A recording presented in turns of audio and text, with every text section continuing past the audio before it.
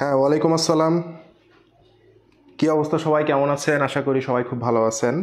আমাকে ঠিকমতো দেখা যাচ্ছে কিনা এবং শোনা যাচ্ছে কিনা একটু সবাই কমেন্ট করে জানাবেন যে ঠিকমতো শুনতে পাচ্ছেন কিনা এবং দেখতে পাচ্ছেন কিনা আমাকে ওকে সবাই একটু কমেন্ট করে জানান তো ভাইয়া যে আমাকে ঠিকমতো শোনা যাচ্ছে কিনা এবং দেখা যাচ্ছে কিনা। বলেন। সবাই একটু কমেন্ট করেন হ্যাঁ। ওয়ালাইকুম আসসালাম ভাইয়া। সবাই কি আমাকে ঠিকমতো শুনতে পাচ্ছেন এবং দেখতে পাচ্ছেন? একটু কমেন্ট করে জানান, ঠিক আছে? সবাই একটু কমেন্ট করে জানান যে আমাকে ঠিকমতো শুনতে পাচ্ছেন কিনা এবং দেখতে পাচ্ছেন কিনা। আমি সবাইকে বলব ভাইয়া, আমরা ক্লাস আজকে অনেক গুরুত্বপূর্ণ একটা টপিকের উপরে ক্লাস করব, ঠিক আছে? তার আগে আমি অনুপাত বিশ্লেষণ এই চ্যাপ্টারের উপরে আমরা ক্লাস করব। এই চ্যাপ্টার থেকে আমাদের এমসিকিউ প্রশ্ন এতটা ইম্পর্টেন্ট যে HSC plus admission HS admission MCQ বুঝছেন? এই দুইটা আমরা একসাথে শেষ করব, ঠিক আছে? এই চ্যাপ্টারটা এতটা গুরুত্বপূর্ণ আপনাদের, আপনারা বললে বিশ্বাস করবেন না, এই চ্যাপ্টার থেকে যে এমসিকিউ প্রশ্নগুলো আছে, এগুলো এইচএসসি এবং অ্যাডমিশন টেস্টের প্রশ্ন আমরা এখনই শিখে ফেলব। তাহলে জিনিসটা কত মজার না, দেখেন তো? হ্যাঁ ওয়ালাইকুম আসসালাম। তাহলে আমরা যেটা করব আমরা হচ্ছে এইচএসসি এবং অ্যাডমিশনের প্রশ্ন, অনুপাত বিশ্লেষণ চ্যাপ্টার থেকে আমরা এখনই যদি শেষ করে ফেলতে পারি, তাহলে ভালো হবে না? অবশ্যই ভালো হবে। তাহলে অনুপাত বিশ্লেষণ নিয়ে আমরা দুইটা ক্লাস করব। কয়টা? দুইটা। আজকে একটা করব, অর্ধেক ক্লাস করব, আগামী দিন আর অর্ধেক ক্লাস করব। করার পরে যেটা করব আমরা এইচএসসির বোর্ড প্রশ্ন আমরা সলভ করব, সেই সাথে সাথে আমরা আবার এখান থেকে অ্যাডমিশনে কি কি প্রশ্ন এসেছে, সেই প্রশ্নগুলো আমরা সলভ করব। তো এই অনুপাত বিশ্লেষণের চ্যাপ্টারটা আমাদের জন্য ভাইয়া অনেক গুরুত্বপূর্ণ ওকে তো সেই কারণে আমরা যেটা করব এই চ্যাপ্টারটা আমরা সবাই মনোযোগ দিয়ে করব। আমি আপনাদেরকে গ্যারেন্টি দিচ্ছি এই চ্যাপ্টার যদি আপনি শেষ করেন, আপনি এখান থেকে সিকিউ তো পাবেন দুইটা, বিশ মার্ক সেই সাথে সাথে এখান থেকে আমি যে এমসিকিউ শেখাই দিব, পাঁচটা এমসিকিউ আপনি বোর্ডে পাবেন, সেই সাথে সাথে ঢাবি বলেন, রাবি বলেন তারপরে গুচ্ছ বলেন, সব জায়গায় আপনি কমন পাবেন। এই আজকের এবং আগামী দিনের যে অনুপাত বিশ্লেষণের ক্লাস নিব, এই দুইটা ক্লাস থেকে। ওকে ভাইয়া?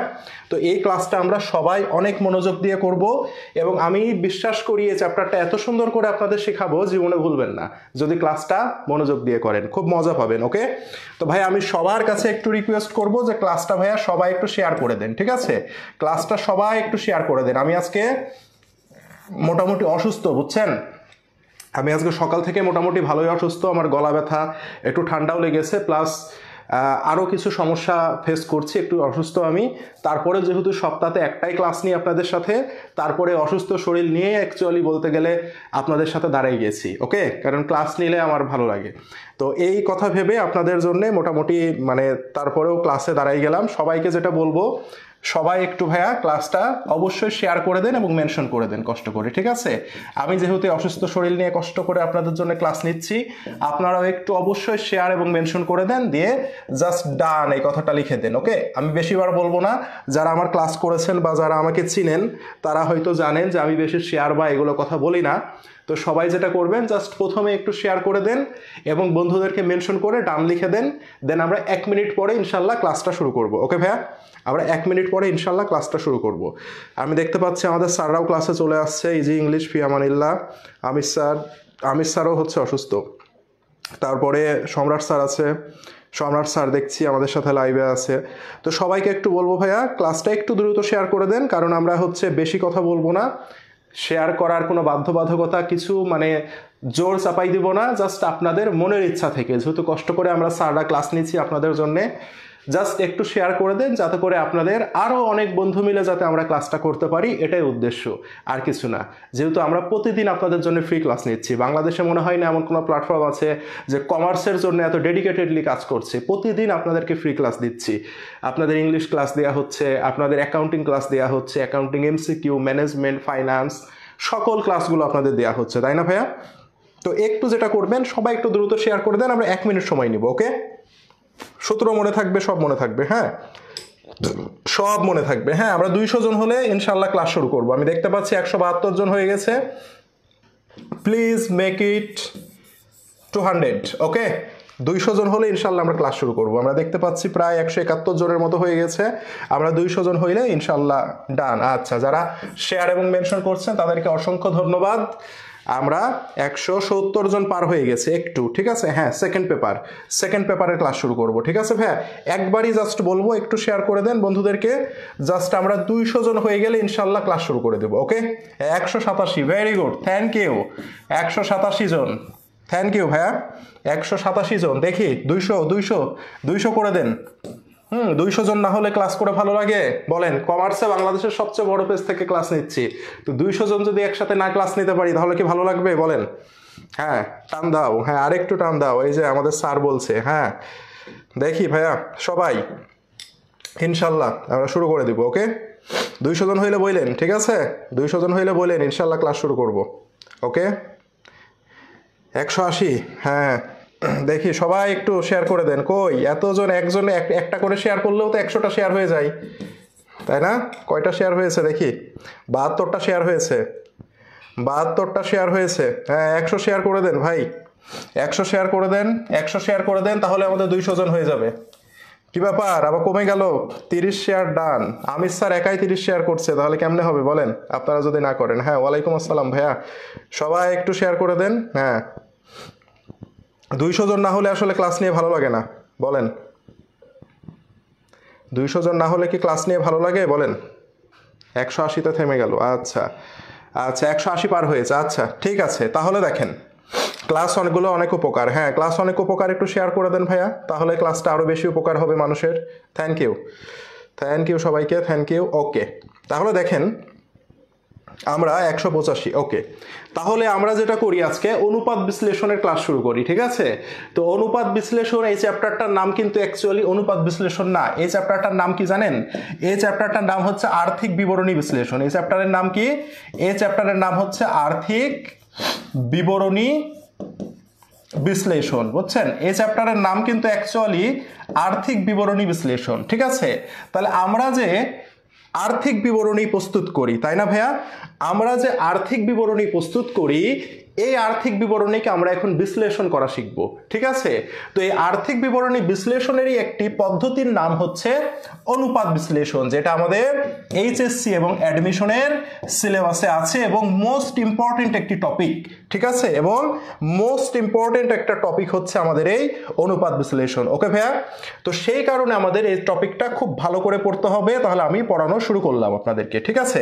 প্রায় দুইশো জন আমাদের হয়ে গেছে থ্যাংক ইউ সবাইকে থ্যাংক ইউ ঠিক আছে? যারা শেয়ার করেছেন তাদের জন্য মন থেকে দোয়া থাকল। সবার জন্য দোয়া, যারা শেয়ার করেছেন এবং সাপোর্ট করেছেন, তাদের জন্য মন থেকে দোয়া থাকল ওকে দুইশো উনিশ জন, মাশাল্লাহ মাশাল্লাহ থ্যাংক ইউ সবার জন্য অনেক দোয়া। হ্যাঁ থ্যাংক ইউ থ্যাংক ইউ ভাইয়া থ্যাংক ইউ অনেক খুশি হইলাম, অনেক খুশি হইলাম থ্যাংক ইউ তাহলে দেখি, ভাইয়া, অনুপাত বিশ্লেষণ কি দেখেন? এখান থেকে আপনাদের প্রশ্ন আসবে। অনুপাত হলো দুইটি রাশির বা আর্থিক বিষয়বস্তুর সংখ্যাত্মক প্রকাশ। তাহলে দেখেন বাংলা কথাই যদি আমি বলতে চাই, অনুপাত হইতে হলে দুটি বিষয়ের মধ্যে কি থাকতে হবে? একটি সম্পর্ক থাকতে হবে। এই সম্পর্কটাকে যখন আমি কিসে প্রকাশ করব? সংখ্যায় প্রকাশ করব। তখনই তাকে আমরা কি বলব? অনুপাত বলব। বোঝা গেছে ভাইয়া?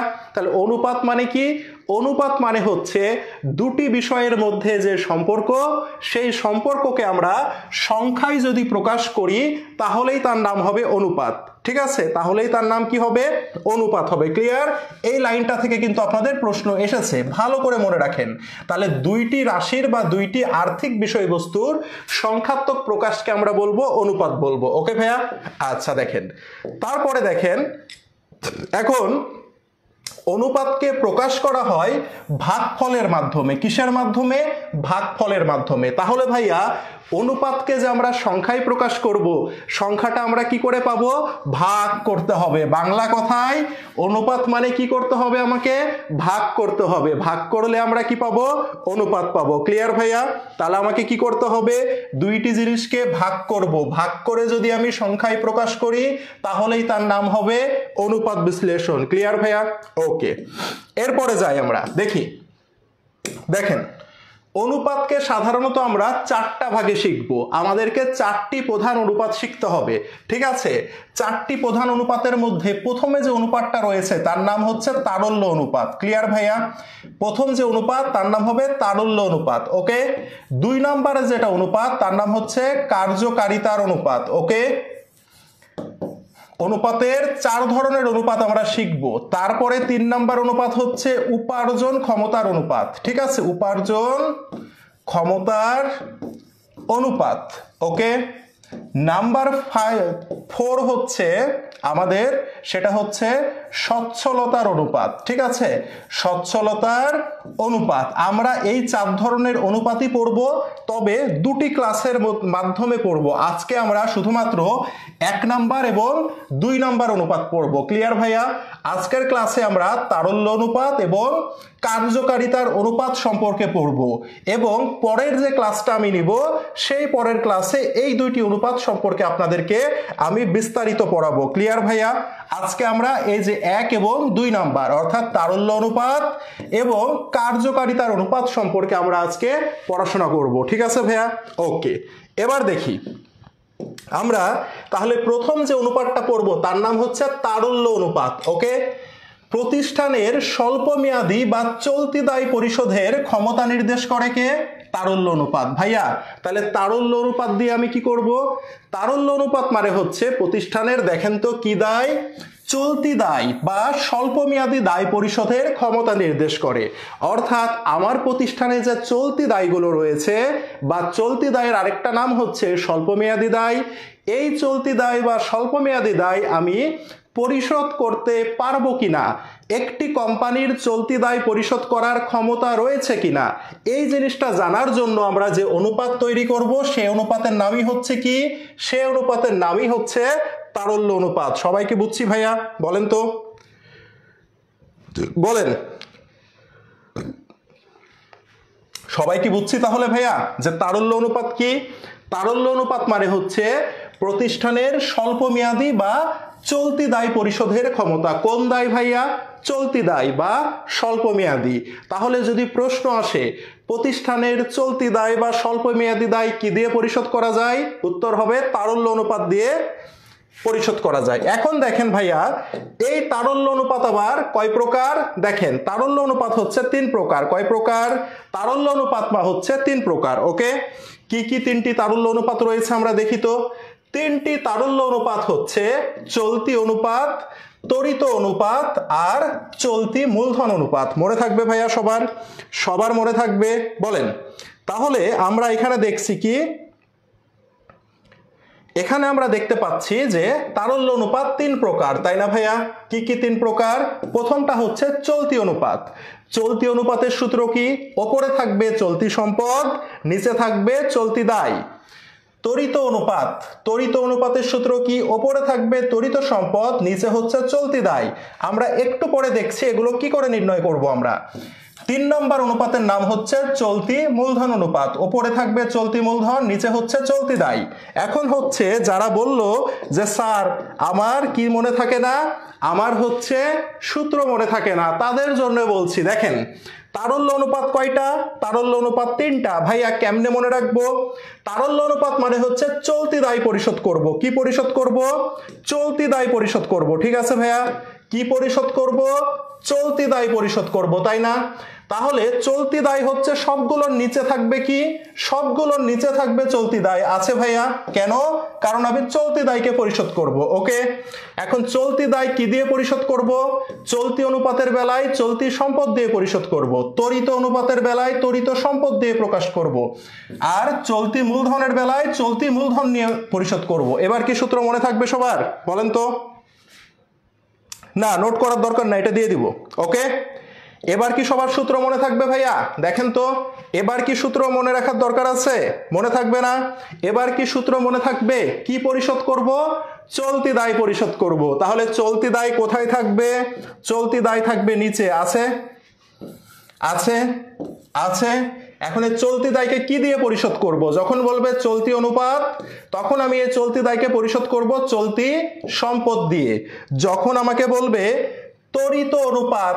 তাহলে তরিত অনুপাত কি দিয়ে প্রকাশ করব? তাহলে তরিত সম্পদ দিয়ে আমি এখন চলতি দায়কে পরিশোধ করব। যখন বলবে চলতি মূলধন অনুপাত, চলতি মূলধন অনুপাত মানে কি? চলতি মূলধন দিয়ে আমি চলতি দায়কে পরিশোধ করব। যাকে পরিশোধ করব সেটা নিচে, আর যে অনুপাত হবে সেটা উপরে। ক্লিয়ার ভাইয়া? সবাই ক্লিয়ার সবাই ক্লিয়ার কিনা বলেন? সবাই ক্লিয়ার বলেন। তাহলে আমরা তিনটা সূত্র শিখে নিলাম। এখন দেখেন, এদের কিছু আদর্শ মান আছে। কি মান? আদর্শ মান আদর্শ মান। ভাইয়া, আদর্শ মান মানে কি? অঙ্ক করার পরে যে মানটা আসবে, সেই মানটাকে একটি মানের সাথে তুলনা করতে হবে। আদর্শ মান মানে হচ্ছে, এটি একটি এমন মান, এই মানটা হলে আমার প্রতিষ্ঠানের অবস্থা ভালো কি খারাপ? সেটা আমরা যে মানের সাথে তুলনা করব, তার নামই হবে আদর্শ মান। ঠিক আছে ভাইয়া? আদর্শ মান হচ্ছে এমন একটি মান যার সাথে আমি অঙ্ক করার পরে যে উত্তর বের হবে তার তুলনা করব। তুলনা করে দেখব যে সেটি ভালো না খারাপ, ওকে? তাহলে আদর্শ মানটা আমরা একটু দেখি তো। আমাদের এটা আমি একটু মনে রাখব আমরা। যখন আমাকে বলবে চলতি অনুপাতের আদর্শ মান কত, তাহলে চলতি অনুপাতের আদর্শ মান হচ্ছে দুই ইস টু ইস টু, এই যে এই যে চিহ্নটা, এর নাম হচ্ছে ইস টু বা এটাই হচ্ছে অনুপাত, দুই অনুপাত এক। যখন বলবে তরিত অনুপাতের আদর্শ মান কত, উত্তর হবে এক অনুপাত এক। যখন বলবে চলতি মূলধনের আদর্শ মান কত, উত্তর হবে কি এক অনুপাত এক। ওকে ভাইয়া? ওকে। ওকে? আচ্ছা আসছি ভাইয়া। কিসের মান দেয়া থাকবে, কিসের মান দেয়া থাকবে না আমরা দেখছি। তাহলে দেখেন, আমরা এই যে যে চলতি অনুপাত, তাহলে চলতি অনুপাতের সূত্র কি? ওপরে থাকবে চলতি সম্পদ, নিচে থাকবে চলতি দায়। এর আদর্শ মান কত? আদর্শ মান হচ্ছে দুই অনুপাত এক। এখন ভাইয়া এই দুই মানে কি? এই দুই মানে হচ্ছে মাথার উপরে যেটা আছে মাথার উপরে সূত্রে কে আছে? মাথার উপরে আছে চলতি সম্পদ ওকে? আর ভাই এই এক মানে কি? এক মানে হচ্ছে নিচে যেটা আছে সেটা হচ্ছে পরে তার মানে এক হচ্ছে চলতি দায়ের মান। ভাইয়া সবাইকে বুঝছি? সবাইকে বুঝছি ভাইয়া বলেন তো? অঙ্ক করার পরে আমাদের যে মান আসবে, ধরেন অঙ্ক করার পরে চলতি অনুপাতের মান বের হলো তিন অনুপাত এক। এটার মানে কি? তিন মানে কে? সূত্রের প্রথমে কে আছে? চলতি সম্পদ। তাহলে তিন হচ্ছে চলতি সম্পদের মান, ওকে? এক। এককে এক হচ্ছে পরে যেটা আছে, নিচে যেটা আছে। তাহলে এক কিসের মান ভাইয়া? এক হচ্ছে চলতি দায়ের মান। ক্লিয়ার এটার অর্থ কি জানেন? এটার অর্থ হচ্ছে আপনার প্রতিষ্ঠানে তিন টাকার চলতি সম্পদ রয়েছে, এক টাকার দায় পরিশোধ করার জন্য। সবাইকে বুঝছি ভাইয়া? সবাইকে বুঝছি এটা? এটা কি সবাই বুঝছি? ক্লিয়ার কিনা এই এই প্রশ্নটা আপনাদের বোর্ড পরীক্ষায় অনেক এসেছে, যে দুই আর এক মানে কি? দুই মানে চলতি সম্পদ। কেন? কারণ চলতি সম্পদ উপরে আছে। প্রথমটা উপরে নিচেরটা চলতি দায়। এই কথার অর্থ কি? আপনার প্রতিষ্ঠানে দুই টাকার চলতি সম্পদ রয়েছে। কেন? কারণ চলতি সম্পদ দিয়ে আমি চলতি দায় পরিশোধ করব। তাহলে কয় টাকার দায় পরিশোধ? এক টাকার দায় পরিশোধ করার জন্য দুই টাকার চলতি সম্পদ রয়েছে। ক্লিয়ার ভাইয়া? ক্লিয়ার ওকে এরপরে আসি। নাম্বার দুই। আমরা দেখি। এই যে দেখেন। তরিত অনুপাত। এই তরিত অনুপাতের অনেকগুলো নাম আছে। তরিত অনুপাত, তারল্য অনুপাত, অ্যাসিড টেস্ট অনুপাত, অগ্নি পরীক্ষা অনুপাত বা দ্রুত অনুপাত। ভাইয়া, যদি অ্যাডমিশন টেস্টে ভালো করতে চান, এ প্লাস পাইতে চান, তাহলে এই প্রতিটা মাঠ, এই প্রতিটা নাম আপনাকে মুখস্থ রাখতে হবে। এই প্রতিটা নাম আপনাকে মুখস্থ রাখতে হবে। কেন ভাইয়া? কারণ আপনি যদি অ্যাডমিশন টেস্টে ভালো করতে চান, ঢাকা ইউনিভার্সিটিতে পড়তে চাই ভাইয়া রাজশাহী ইউনিভার্সিটিতে পড়তে চাই, গুচ্ছের জগন্নাথে পড়তে চাই, জাহাঙ্গীরনগরে পড়তে চাই, ভালো ভালো ইউনিভার্সিটিগুলো আছে না? তো সেখানে যদি পড়তে চান, এখন থেকে ভাইয়া, এই যে একটি অনুপাতের কতগুলো নাম আছে, সব মুখস্থ রাখতে হবে। তরিত অনুপাত, তারল্য অনুপাত অ্যাসিড টেস্ট অনুপাত, অগ্নি পরীক্ষা অনুপাত, দ্রুত অনুপাত। মনে থাকবে সবার? সবার মনে থাকবে? ওকে তাহলে দেখেন, এই তরিত অনুপাত আবার কাকে বলে? প্রতিষ্ঠানের তাৎক্ষণিক এই কথাটা খালি যুক্ত হয়েছে। তাৎক্ষণিক স্বল্পমেয়াদী বা চলতি দায় পরিশোধের ক্ষমতা নির্দেশ করে। ভাইয়া, প্রতিষ্ঠানের তাৎক্ষণিক তাৎক্ষণিক মানে কি? সাথে সাথে সাথে সাথে আপনার দায় পরিশোধ করার ক্ষমতা আছে কিনা? সেটা আমরা যাচাই করব কি দিয়ে? সেটা আমি যাচাই করব তরিত অনুপাত দিয়ে, ওকে? তাহলে পরীক্ষার প্রশ্নে আমরা যখন দেখব, প্রশ্নে বলেছে, প্রতিষ্ঠানের তাৎক্ষণিক চলতি দায় পরিশোধের তাৎক্ষণিক কথাটা উল্লেখ থাকলেই উত্তর কি হবে? উত্তর হবে তড়িৎ অনুপাত। তাকে আমরা কি অনুপাত বলব? তড়িৎ অনুপাত বলব। মনে থাকবে? মনে থাকবে? প্রতিষ্ঠানের তাৎক্ষণিক চলতি দায় পরিশোধের ক্ষমতা তড়িৎ অনুপাত দিয়ে আমি প্রকাশ করব। ওকে ভাইয়া? ওকে। এখন কথা হচ্ছে তড়িৎ অনুপাতের সূত্র কি? তড়িৎ অনুপাত, তাহলে তড়িৎ অনুপাত আমি তো বলেছি চলতি দায় নিচে থাকবে। তাহলে ওপরে কে থাকবে? ওপরে থাকবে তড়িৎ সম্পদ, ওকে? ভাইয়া, এর আদর্শ মান কত? এক অনুপাত এক। এক মানে কি? এক মানে হচ্ছে তড়িৎ সম্পদ। ওপরে যেটা আছে, এই এক মানে কি? নিচে যেটা আছে সেটা এক মানে চলতি দায়। এখন কথা হচ্ছে ভাইয়া, চলতি দায় কোনগুলো? আমরা তো চিনি। পাওনাদার বলতে পারেন, প্রদেয় বিল বলতে পারেন স্বল্প মেয়াদী ঋণ বলতে পারেন, তাই না? এগুলো হচ্ছে আমাদের চলতি দায়। এখন কথা হচ্ছে, ভাইয়া তরিত সম্পদ জিনিসটা আবার কি? তাই না, ভাইয়া? যে তরিত সম্পদ কাকে বলে, ভাইয়া? তরিত সম্পদ আমরা কি করে নির্ণয় করব? দেখেন তরিত সম্পদ সমান চলতি সম্পদ মাইনাস সমাপনী মজুদ পণ্য মাইনাস অগ্রিম খরচ। দ্যাট মিনস একটি প্রতিষ্ঠানের মোট চলতি সম্পদ থেকে যদি আমরা সমাপনী মজুদ এবং অগ্রিম খরচকে মাইনাস করে দিই, তাহলেই আমরা কিসের মান পাবো ভাইয়া? তাহলেই আমরা তরিত সম্পদের মান পাবো। সবাইকে বুঝছি ভাইয়া? বলেন তো, তাহলে আমরা কিসের মান পাবো? তাহলে আমরা তরিত সম্পদের মান পাবো, ওকে? ভাইয়া তরিত সম্পদ কি করে নির্ণয় করব? চলতি সম্পদ থেকে সমাপরি মজুদ মাইনাস অগ্রিম খরচ। বাদ দিলে আমরা কি পাবো? তরিত সম্পদ পাবো। তাহলে ভাইয়া তাহলে ভাইয়া, ভাই, অ্যাডমিশনের জন্য আগাচ্ছি না। এটা কি অ্যাডমিশনের পড়াচ্ছি? এটা কি অ্যাডমিশন পড়াচ্ছি? আপনাদের এইচএসসি সিলেবাসে আছে না? কথা না বুঝে কথা কেন বলেন ভাই, বলেন তো। অ্যাডমিশনের জন্য আগানো ঠিক হবে না, তাহলে ক্লাস করেন না। এটা তো ভাই আপনার এইচএসসি সিলেবাসে আছে। না বুঝে কথা বলেন কেন? এইচএসসি সিলেবাসে আছে না? এই যারা ক্লাস করছেন, বলেন তো এইচএসসি সিলেবাস আছে কিনা এটা? বলেন তো। বলেন, এটা কি এইচএসসি সিলেবাস আছে কিনা? আমি কি অ্যাডমিশন পড়াচ্ছি আপনাকে? আমি কি অ্যাডমিশন পড়াচ্ছি? ভাই এইচএসসি সিলেবাস আর অ্যাডমিশন সিলেবাসে পার্থক্য আছে কোনো? জেনে কথা বলতে হবে, ঠিক আছে? ওকে ঠিক আছে? একজন বলছে, চলতি দায় থেকে একজন বলছে, চলতি দায় থেকে দীর্ঘমেয়াদী বিয়োগ হবে কিনা? ভাই, যেটা পড়াচ্ছি সেটা শোনেন, ঠিক আছে? আগে কি পড়েছেন ভুলে যান হ্যাঁ? যেটা পড়াচ্ছি সেটা মনে রাখেন। তরিত সম্পদ মানে কি ভাই? তরিত সম্পদ মানে হচ্ছে চলতি সম্পদ মাইনাস সমাপনী মজুদ মাইনাস অগ্রিম খরচ। তাহলে কি পাবো আমি? তরিত সম্পদ পাবো। এখন দেখেন, আপনাকে যদি পরীক্ষায় প্রশ্ন আসে, নিচের কোনটি তরিত সম্পদ নয়? তাহলে কি মনে রাখবেন? দুইটা জিনিস মনে রাখবেন যে নাম্বার ওয়ান লিখে রাখেন, এটা নোট করেন। তরিত সম্পদ নয় কোনটি? তরিত সম্পদ নয় কোনটি? দুইটা জিনিস তরিত সম্পদ হয় না, ঠিক আছে? দুইটা জিনিস তরিত সম্পদ হয় না। কোন দুইটা জিনিস? নাম্বার ওয়ান সমাপনী মজুদ ওকে? তরিত সম্পদ নয়। নাম্বার দুই কি? নাম্বার দুই হচ্ছে অগ্রিম খরচ। এই দুইটা হচ্ছে তরিত সম্পদ নয়। মনে থাকবে ভাইয়া, তাহলে যদি আপনাকে পরীক্ষায় প্রশ্ন করে, নিচের কোনটি তরিত সম্পদ নয়, তাহলে কি উত্তর করতে পারব? তাহলে কি উত্তর করতে পারব? কোনটি তরিত সম্পদ নয়? সমাপনী মজুদ এবং অগ্রিম খরচ তরিত সম্পদ নয়। ক্লিয়ার ভাইয়া? ক্লিয়ার ক্লিয়ার ওকে নেক্সটে যাই আমরা, দেখেন। চলতি মূলধনের আরেকটা নাম হচ্ছে কি? কার্যকরী মূলধন। ভাইয়া, চলতি সম্পদের আরেকটা নাম কি? চলতি সম্পদের আরেকটা নাম হচ্ছে কার্যকরী মূলধন। মনে থাকবে, চলতি মূলধনের আরেকটা নাম কি? কার্যকরী মূলধন। তাহলে আপনাকে যখন বলবে, চলতি মূলধন বা কার্যকরী মূলধন অনুপাত, তখন আমি কি করে নির্ণয় করব? ওপরে থাকবে চলতি মূলধন আর নিচে থাকবে চলতি দায়। ওপরে থাকবে চলতি মূলধন, নিচে থাকবে চলতি দায়। আদর্শ মান কত? এক অনুপাত এক। তার মানে কি? এক হচ্ছে চলতি মূলধন, যেহেতু চলতি মূলধন ওপরে আছে আর এই এক মানে কি? এ এক মানে হচ্ছে চলতি দায়। কেন? কারণ এটা নিচে আছে, তার মানে পরেরটা দ্বারা নিচেরটা মিন করছে। ঠিক আছে ভাইয়া?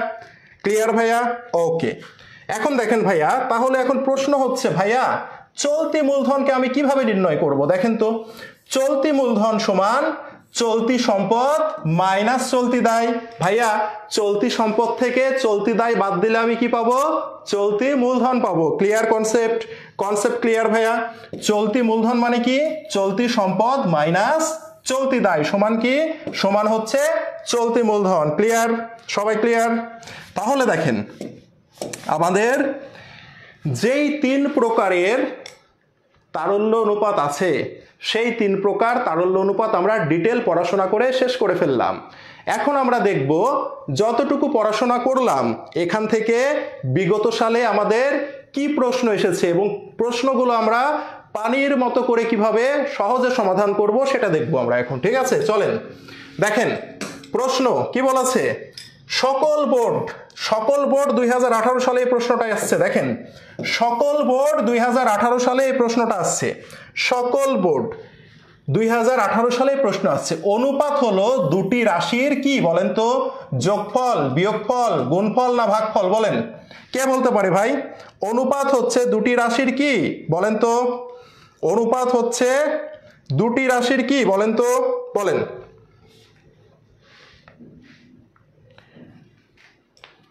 বলেন। অনুপাত দুটি রাশির কি? পড়াইছি না পড়াইনি বলেন? আমি বলেছি না, অনুপাত নির্ণয় করতে হলে কি করতে হবে ভাইয়া? ভাগ করতে হয়, তাই না? তাহলে অনুপাত হচ্ছে দুটি রাশির ভাগফল। আমি কি ভুল বললাম না সঠিক বললাম? অনুপাত হচ্ছে দুটি রাশির কি? অনুপাত হচ্ছে দুটি রাশির ভাগফল। ক্লিয়ার ভাইয়া? ক্লিয়ার ওকে নেক্সটে যাই ভাইয়া, দেখি। দেখেন, কি বলেছে? প্রতিষ্ঠানের স্বল্প, স্বল্পমেয়াদী দায় পরিশোধের ক্ষমতা নির্ণয়ের অনুপাতকে কি বলে? কি দায় ভাইয়া? স্বল্প মেয়াদী দায়। আমরা কি জানি? স্বল্প মেয়াদী বা চলতি দায়, তাই না? চলতি দায়ও যে জিনিস স্বল্প মেয়াদী দায়ও সেই জিনিস। তাহলে চলতি দায় বা স্বল্প মেয়াদী দায় আমরা কি দিয়ে পরিশোধ করব ভাইয়া বলেন তো দেখি।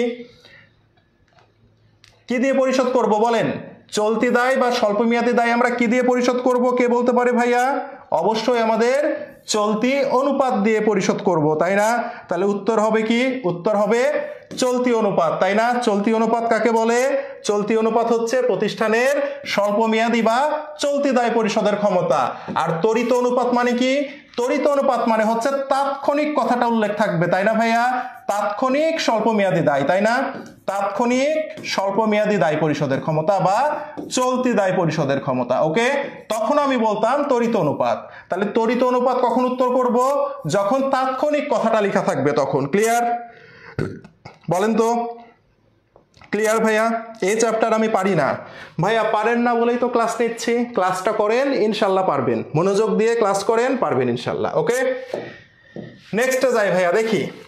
এই যে দেখেন, কি বলেছে দেখেন? এই প্রশ্নের কি অপশন লাগবে? অপশন ছাড়া উত্তর করেন। কি বলেছে দেখেন? তাৎক্ষণিক দায় পরিশোধের ক্ষমতা। ভাইয়া, তাৎক্ষণিক কথাটা আছে না নাই? দেখেন, ঢাকা বোর্ড তেইশে আসছে। তাৎক্ষণিক কথাটা আছে। তাৎক্ষণিক থাকলে উত্তর কি হবে বলেন? অপশন ছাড়া বলেন। অপশন ছাড়া বলেন। অপশন ছাড়া এটা বলেন তো, তাৎক্ষণিক কথাটা থাকলে কি হবে ভাইয়া? তাৎক্ষণিক কথাটা থাকলে কি হবে বলেন? তাৎক্ষণিক থাকলে কি হবে? তাৎক্ষণিক আছে না? তাহলে উত্তর কি হবে? তাৎক্ষণিক থাকলে উত্তর কি হবে ভাইয়া? কে বলতে পারে? তাৎক্ষণিক থাকলে উত্তর হবে তরিত অনুপাত। আর তরিত অনুপাতের কতগুলো নাম আছে জানো ভাইয়া? তরিত অনুপাত, তারল্য অনুপাত, তারপর কি আছে? অ্যাসিড অ্যাসিড টেস্ট অনুপাত অগ্নি পরীক্ষা অনুপাত, কতগুলো নাম আছে? আছে না? আবার আমরা বলতে পারি দ্রুত অনুপাত মানে এর বাবা মায়েকে ভালোবেসে অনেকগুলো নাম রেখে গেছে। তাহলে উত্তর কি হবে বলেন? কে বলতে পারে? তরিত অনুপাত, তাই না? তাহলে অপশনে তো তরিত নাই। তরিত অনুপাতের আমরা চারটা নাম দেখেছি না ভাইয়া? তরিত তারল্য অ্যাসিড টেস্ট অগ্নি পরীক্ষা এবং দ্রুত অনুপাত। তাহলে উত্তর কি হবে? উত্তর হবে অ্যাসিড টেস্ট অনুপাত। সবাই বুঝছি ভাইয়া? ভেরি গুড এই তো, সবাই বুঝছেন। যারা প্রথম থেকে মন দিয়ে ক্লাস করছে, তারা ইজিলি উত্তরগুলো করতে পারছে, তাই না ভাইয়া? তাহলে কি প্রশ্ন কি ধরতে পারছেন? ঢাকা বোর্ড, তেইশের প্রশ্ন। কোথাকার প্রশ্ন? ঢাকা বোর্ড, তেইশ। সবাই বুঝছি ভাইয়া? সবাই বুঝছি? বলেন। পরে যাই, দেখেন। দেখেন, খুবই ইম্পর্টেন্ট একটা প্রশ্ন, দেখেন। তারল্য বাড়াতে গেলে ব্যবসায়ে কোনটি ঘটে? তারল্য বাড়াতে গেলে, ভাইয়া, তারল্য মানে কি জানেন? তারল্য মানে হচ্ছে নগদ অর্থ। তারল্য মানে কি? নগদ অর্থ মানে নগদ টাকা। বাংলা কথায় যদি বলতে চাই, নগদ টাকা। তারল্য মানে নগদ টাকা। এখন ভাইয়া দেখেন তো, আপনার ব্যবসাতে যদি আপনি বেশি বেশি নগদ টাকা বাড়ান মানে বেশি বেশি নগদ টাকা রাখেন, তাহলে কি আপনি এই টাকাটা কি বিনিয়োগ করতে পারবেন, বিনিয়োগ করতে পারবেন না। আমি ব্যবসাতে যদি বেশি টাকা জমা রাখতে চাই, তাহলে আমি এই টাকাটা তো বিনিয়োগ করতে পারছি না। তার বিনিয়োগ যদি না করতে পারি, তাহলে কি আমি মুনাফা করতে পারব প্রফিট করতে পারব, লাভ করতে পারব? পারব না। ঠিক আছে ভাইয়া? তাহলে এটার উত্তর কি হবে? এটার উত্তর হবে মুনাফা অর্জন ক্ষমতা হ্রাস পাবে। তাহলে এর সাথে সাথে আপনারা একটা জিনিস লিখে নেন। সেটা কি ভাইয়া? তারল্য ও মুনাফার সম্পর্ক। ঠিক আছে, এটা লিখে নেন একটু হ্যাঁ? তারল্য ও মুনাফার সম্পর্ক। তারল্য যদি কি হয়? বেশি হয়, ওকে? মুনাফা কি হবে? মুনাফা কমবে, ওকে? তার মানে দেখেন, তারল্য এবং মুনাফার মধ্যে সম্পর্ক কেমন? সম্পর্ক হচ্ছে বিপরীত সম্পর্ক। কনসেপ্ট কি ক্লিয়ার ভাইয়া? কনসেপ্ট কি ক্লিয়ার সবার? বলেন। তারল্য এবং মুনাফার মধ্যে সম্পর্ক কি? তারল্য এবং মুনাফার মধ্যে সম্পর্ক বিপরীত। তারল্য যদি বাড়ে, তাহলে আমার কি হবে? মুনাফা ক্ষমতা হ্রাস পাবে। তার মানে মুনাফা কমে যাবে। সবাই কি বুঝছি ভাইয়া? সবাই কি বুঝছি? ইয়েস অর নো বলেন তো দেখি ভাইয়া। সবাই বুঝছি কিনা? বলেন।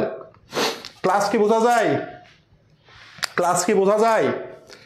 ক্লাস নিতে একটু কষ্ট হচ্ছে। মানে শরীরটা খুবই মানে খারাপ। একটু ছিলাম না আমি সারাদিন। বাইরে ছিলাম, আসার পরে শরীরটা মানে সব দিক থেকে খারাপ আর কি। সবাই কি বুঝতে পারছেন ক্লাস? বলেন তো দেখি। সবাই কি বুঝছেন ক্লাস? বোঝা যাচ্ছে? ভালো লাগছে? না ভালো লাগছে না? সময় নষ্ট, কোনটা বলেন? আলহামদুলিল্লাহ, sir clear okay very good thank you thank you সবাইকে। নেক্সটে যাই। ভাইয়া, দেখেন। কি বলেছে? দেখেন, কি বলেছে? আমাদেরকে বলছে,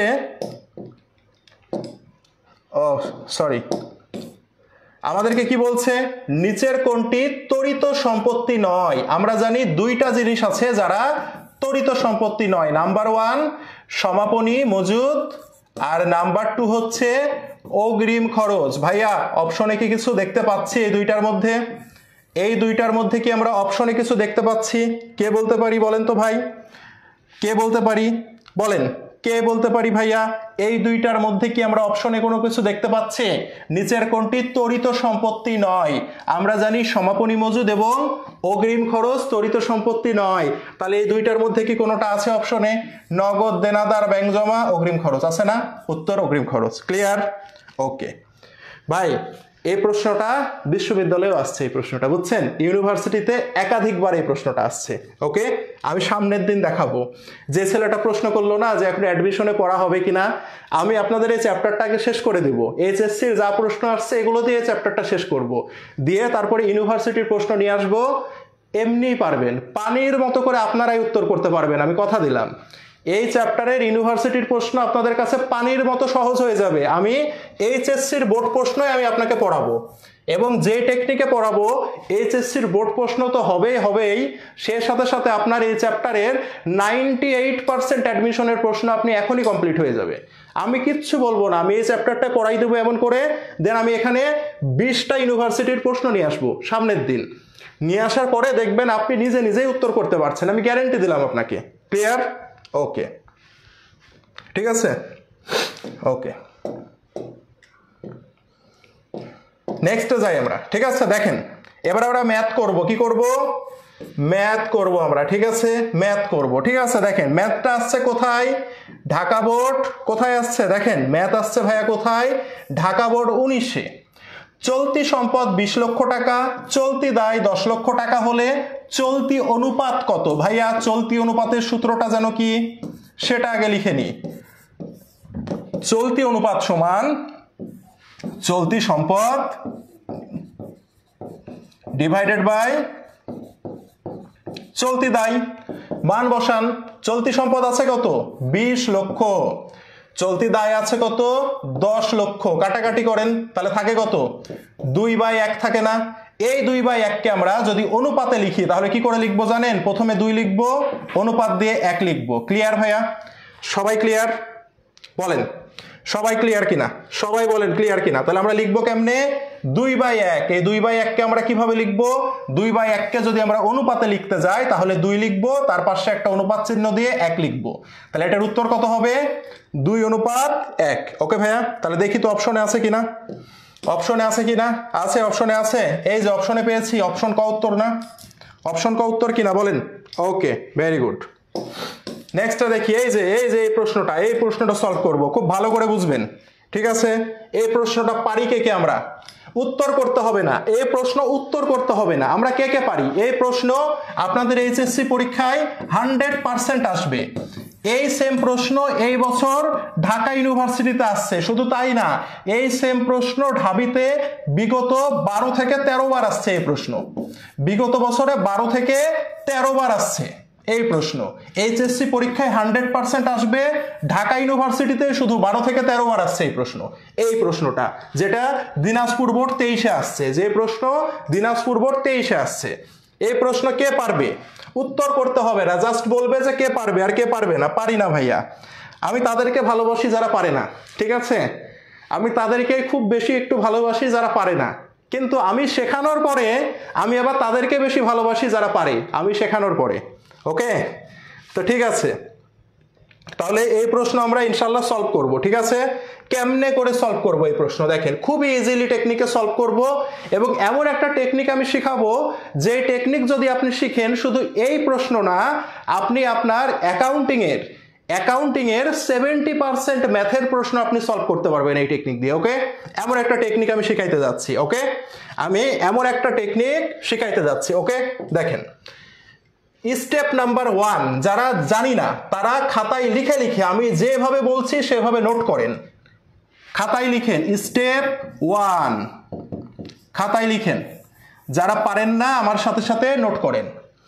লেখেন স্টেপ ওয়ান ওকে লিখেন। স্টেপ ওয়ান লেখা হয়েছে খাতায় ভাইয়া ওকে স্টেপ ওয়ান লেখে, এই ধরনের অঙ্ক যদি থাকে, আমি সবার প্রথমে দেখব, প্রশ্নে কোনো অনুপাত দেয়া আছে কিনা। প্রশ্নে একটি অনুপাত দেয়া আছে, সেই অনুপাতটার নাম হচ্ছে চলতি অনুপাত। লিখবেন, চলতি অনুপাত। চলতি অনুপাতের মান কত? পাঁচ অনুপাত দুই। কত মান? পাঁচ অনুপাত দুই দেয়া আছে মান, ওকে? ভাইয়া, চলতি অনুপাতের সূত্র কি? চলতি অনুপাতের সূত্রটা হচ্ছে চলতি সম্পদ ভাগ চলতি দায়, ওকে? দ্যাট মিনস এই যে পাঁচ, এই পাঁচ মানে হচ্ছে কি? পাঁচ মানে হচ্ছে চলতি সম্পদ আর এই দুই এই দুই মানে হচ্ছে চলতি দায়, ওকে? এই পর্যন্ত ক্লিয়ার ভাইয়া সবাই? বলেন, যারা পারতেন না, তারা কি এই পর্যন্ত ক্লিয়ার ভাইয়া? যারা পারতেন না, তারা কি এই পর্যন্ত বুঝতে পেরেছেন কিনা? বলেন তো ভাই দেখি। যারা পারতেন না, তারা কি এই পর্যন্ত বুঝতে পেরেছেন? Step number one step number ওয়ানে আমরা অনুপাতটা লিখব। এখন এই অনুপাতের মধ্যে পাঁচ মানে কি আর দুই মানে কি? এটা কি সবাই বুঝতে পেরেছি? এত দূর কি ভাইয়া মাথায় ঢুকেছে সবার? এত দূর কি ঢুকেছে? Okay very good thank you এরপরে স্টেপ টু স্টেপ টুতে আমি দেখব প্রশ্নে কিসের টাকা দেয়া আছে? প্রশ্নে কিসের টাকা আছে? প্রশ্নে দেখেন তো কোনো টাকা আছে কিনা? আছে। নিট চলতি মূলধনের টাকা দেয়া আছে। কিসের টাকা দেয়া আছে? প্রশ্নে চলতি মূলধনের টাকা দেয়া আছে, ওকে? কত? এক লক্ষ আশি হাজার টাকা, ওকে? এ এক লক্ষ আশি হাজার টাকা কিসের টাকা? চলতি মূলধনের টাকা, ঠিক আছে? ওকে, ভাইয়া, এখন দেখেন। চলতি মূলধনের এটা টাকা দেয়া আছে, তাই না? এটা হচ্ছে টাকা। ভাইয়া, দেখেন তো, চলতি মূলধনের কি কোনো অনুপাতের মান দেয়া আছে? দেখেন তো, এটা তো চলতি মূলধনের টাকা দেয়া আছে। কিন্তু অনুপাতের মান দেওয়া আছে কিসের কিসের? অনুপাতের মান দেওয়া আছে সম্পদের আর অনুপাতের মান দেওয়া আছে দায়ের। তাহলে ভাই আমাকে বলেন তো, আমাকে এখন যেহেতু টাকা দেয়া আছে চলতি মূলধনের, আমাকে এখন এই সম্পদ আর এই দায় দিয়ে মূলধন বানাইতে হবে।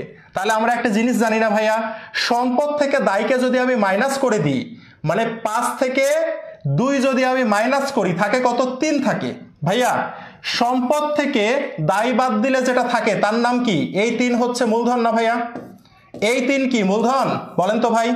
এই তিন মূলধন কি না? বলেন। এই তিন কি মূলধন ভাইয়া? বলেন তো। ভাইয়া, মূলধন কেন বের করলাম? কারণ প্রশ্নে মূলধনের টাকা দেয়া আছে, ওকে? সেই কারণে আমি মূলধন বের করলাম। আমরা জানি সম্পদ থেকে যদি দায়কে বাদ দিয়ে দিই, তাহলে আমরা মূলধন পাবো। পেয়েছি ভাইয়া? পেয়েছি, ওকে। ভাইয়া, এখন আমাকে বলেন তো এই যে চলতি মূলধন, টাকাই যেটা এক লক্ষ আশি, সেটা অনুপাতে তার মান কত বের হইল? তিন বের হলো না। তিন বের হয়েছে না। এটাও হচ্ছে চলতি মূলধন, তিনও হচ্ছে কি? তিনও হচ্ছে চলতি মূলধন। এতটুকু ক্লিয়ার ভাইয়া? এতটুকু সবাই ক্লিয়ার এতটুকু কি সবাই ক্লিয়ার ভাইয়া? বলেন। এতটুকু কি সবাই ক্লিয়ার হয়েছি আমরা?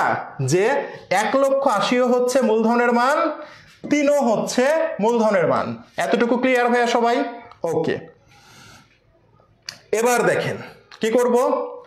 মূলধন যেটা এক লক্ষ আশি, সেটাই আবার তিন। মূলধনকে মূলধন দিয়ে ভাগ দিব, অর্থাৎ একই জিনিসকে একই জিনিস দিয়ে ভাগ দিব। দেখেন, তাহলে মূলধনকে মূলধন দিয়ে ভাগ দিব। মূলধনের মান কত? মূলধনের মান হচ্ছে টাকাটা থাকবে ওপরে। এক লক্ষ আশি হাজার টাকা মূলধন, আবার তিনও হচ্ছে কি? তিনও হচ্ছে মূলধন। মূলধনকে মূলধন দিয়ে ভাগ দিয়েছি না? দিয়েছি। ভাইয়া, প্রশ্নে কিসের মান জানতে চাচ্ছে? চলতি দায়ের মান জানতে চাচ্ছে। ভাইয়া, চলতি দায় কত বলেন তো? পাঁচ হচ্ছে চলতি সম্পদ আর দুই হচ্ছে কি? দুই হচ্ছে চলতি দায়।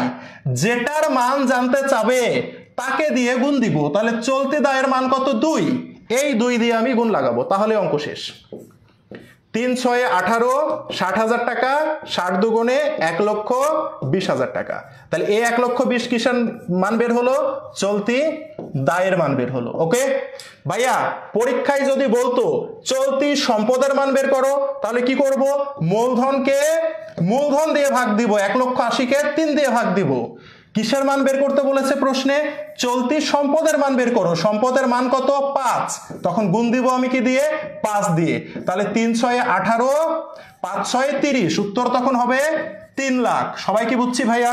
সবাই কি বুঝছি? বলেন। বলেন, সবাই বুঝছি? সবাই বুঝছি কিনা বলেন? এই যে যারা পাকনামো করলেন, তারা ভুল করলেন। এই জিনিসটা আপনি খাতায় লিখে লিখে করবেন তিনবার, তারপরে এত কিছু আপনার লিখাই লাগবে না। আপনার মাথায় অটোমেটিক্যালি সেট হয়ে যাবে তখন, ঠিক আছে? যারা প্রথম করবেন, তারা তিনবার লিখে লিখে করবেন, জাদুর মতো অঙ্ক শেষ হয়ে যাবে একটা নিয়মে। আমি যে নিয়মের অঙ্ক শিখাই, যারা আমার এইচএসসি রেগুলার স্টুডেন্ট এবং যারা আমার অ্যাডমিশন স্টুডেন্ট তারা জানে, আমি যে অঙ্ক শিখাই, একটি নিয়মই শিখাই, একটি নিয়ম দিয়ে দুনিয়ার ওই রিলেটেড সকল ম্যাথ সলভ করা যায়।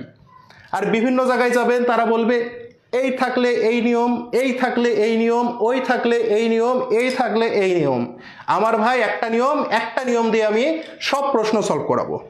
ঠিক আছে? আরেকবার বোঝাবো। আরেকবার বোঝাবো। দেখি, দেখেন, এবার সহজ লাগবে, দেখেন। প্রশ্নে প্রথমে দেখব অনুপাত দেয়া আছে একটি, ঠিক আছে? কি অনুপাত দেয়া আছে? দেখি তো।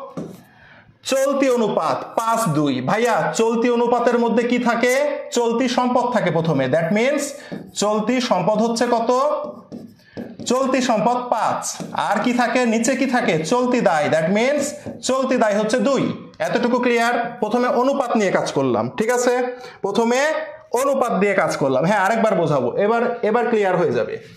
তাহলে অনুপাতগুলো আগে ভেঙে নিব। এবার দেখব প্রশ্নে একটি টাকা দেয়া আছে। কিসের টাকা দেয়া আছে ভাইয়া? চলতি মূলধনের টাকা দেয়া আছে। কত? এক লক্ষ আশি হাজার টাকা। ওকে? ওকে। ভাইয়া, টাকা দেয়া আছে চলতি মূলধনের, আর অনুপাত দেয়া আছে চলতি সম্পদ এবং চলতি দায়ের। যেহেতু উত্তরে আমাকে বের করতে হবে টাকা সেই কারণে এই অনুপাতকে আমি এখন কি বানাবো? যেহেতু টাকা দেয়া আছে মূলধনের, সেজন্য এই অনুপাতকে আমি কি বানাবো? মূলধন বানাবো। আমরা জানি চলতি সম্পদ থেকে চলতি দায় বাদ দিলে কি পাবো? চলতি মূলধন পাবো। তাহলে চলতি মূলধন কত? চলতি মূলধন তিন। এত দূর ক্লিয়ার ভাইয়া? এত দূর ক্লিয়ার ভাইয়া সবাই? এত দূর কি আমরা সবাই ক্লিয়ার এত দূর আমরা সবাই ক্লিয়ার এখন দেখি। ভাইয়া, বলেন তো, চলতি মূলধন যেটা এক লাখ আশি হাজার টাকা, সেই চলতি মূলধনের মানি তিন না ভাইয়া? তিন। সেই জন্য আমরা চলতি মূলধনকে চলতি মূলধন দিয়ে কি করব? ভাগ করব। তাহলে এক লাখ আশি হাজার টাকাকে তিন দিয়ে ভাগ দিব। কেন? কারণ এটাও চলতি মূলধন, এটাও চলতি মূলধন। খালি খেয়াল রাখবেন, টাকাটাকে রাখতে হবে ওপরে। ওকে? ভাগ দিলাম। প্রশ্নে কি জানতে চেয়েছে? চলতি দায় কত? ভাইয়া, চলতি দায়ের মান কত? দুই। যার মান বের করতে বলবে, তাকে দিয়ে গুণ দিবেন। দিয়ে দিলাম। তিন ছয় আঠারো, আশি হাজার টাকা। ষাট দুগুণে এক লক্ষ বিশ হাজার টাকা, ওকে? প্রশ্নে বলেছে, চলতি সম্পদ কত? এই সেম প্রশ্নে যদি বলতো, চলতি সম্পদ কত? তাহলে দেখেন এক লাখ আশি হাজার টাকাকে আমরা কি করব? তিন দিয়ে ভাগ দিব। চলতি মূলধনকে, চলতি মূলধন দিয়ে ভাগ দিলাম। গুণ করব কি দিয়ে? চলতি সম্পদ দিয়ে। চলতি সম্পদের মান কত? পাঁচ। তিন লাখ টাকা। ক্লিয়ার ভাইয়া? এবার ক্লিয়ার? বলেন। এবার ক্লিয়ার কি না বলেন। এবার কি ক্লিয়ার হয়েছি ভাইয়া আমরা সবাই? বলেন তো দেখি। এবার সবাই ক্লিয়ার হয়েছি কিনা? বলেন। এবার সবাই ক্লিয়ার হয়েছে কিনা? বলেন। এবার যদি ক্লিয়ার হয়ে থাকে, আমি এবার একটা অঙ্ক করতে দিই আপনাদেরকে, তাহলে আমরা বুঝতে পারব। দেখেন।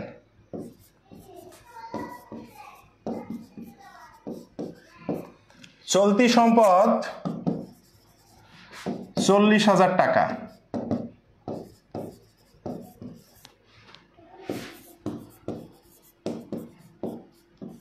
চলতি অনুপাত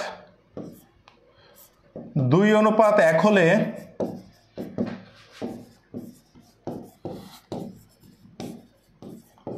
চলতি মূলধন কত? এটা সলভ করেন তো দেখি। তাহলে আমি বুঝতে পারব যে আপনারা ক্লিয়ার হয়েছেন এটা। এটা সলভ করেন সবাই। এটা সবাই সলভ করেন তো দেখি। তাহলে আমি বুঝতে পারব। আপনারা বুঝতে পেরেছেন। বলেন। এক লক্ষ আশি হাজার টাকা দুই অংশ হবে না কি অংশ হবে ওইসব ভুলে যান ঠিক আছে? যদি চান্স পাইতে চান ভালো করতে চান ওই দুই অংশ তিন অংশ ভুলে যান ঠিক আছে? দুই তিন অংশ ভুলে যান ওকে ওকে এটা সলভ করেন সবাই। সবাই এটা সলভ করেন তো ভাইয়া? এটা সলভ করেন। যেটা শিখাচ্ছি, এটা শিখেন, একটু কষ্ট হলেও জীবনে আটকাবেন না, জীবনে ভুলবেন না গ্যারেন্টি কেন জানেন? কারণ ওই দুই হাজার পনেরো সাল থেকে নয় বছর, নয় বছরে পড়াচ্ছি, সে অভিজ্ঞতা থেকে বলছি। বুঝছেন? জীবনে ভুলবেন না। ওকে? দেখেন। জানতে চেয়েছি চলতি মূলধন কত, সেটা জানতে চেয়েছি হ্যাঁ? জানতে চেয়েছি চলতি মূলধন কত, সেটা জানতে চেয়েছি, ওকে? বিশ হাজার। বিশ হাজার। দেখেন, প্রথমে আমি দেখব কি অনুপাত দেয়া আছে। অনুপাত কি দেয়া আছে? চলতি অনুপাত। তাহলে চলতি অনুপাতের মধ্যে কি থাকে? চলতি সম্পদ থাকে। চলতি সম্পদের মান কত? দুই। চলতি দায়ের মান কত? চলতি দায়ের মান হচ্ছে এক। এবার আমি দেখব প্রশ্নে একটি টাকা দেয়া আছে। টাকাটা কিসের? চলতি সম্পদের টাকা দেয়া আছে। এখানে কি চলতি সম্পদের মান আছে? আছে। তাহলে চলতি সম্পদ কত? চল্লিশ হাজার, ওকে? কিসের মান বের করতে বলেছে? বলেছে চলতি মূলধন কত? তাহলে চলতি মূলধনকে আমি কি করব এখন? চলতি সম্পদকে চলতি সম্পদ দিয়ে ভাগ দিব। চল্লিশ হাজারকে দুই দিয়ে ভাগ দিব। দিলাম?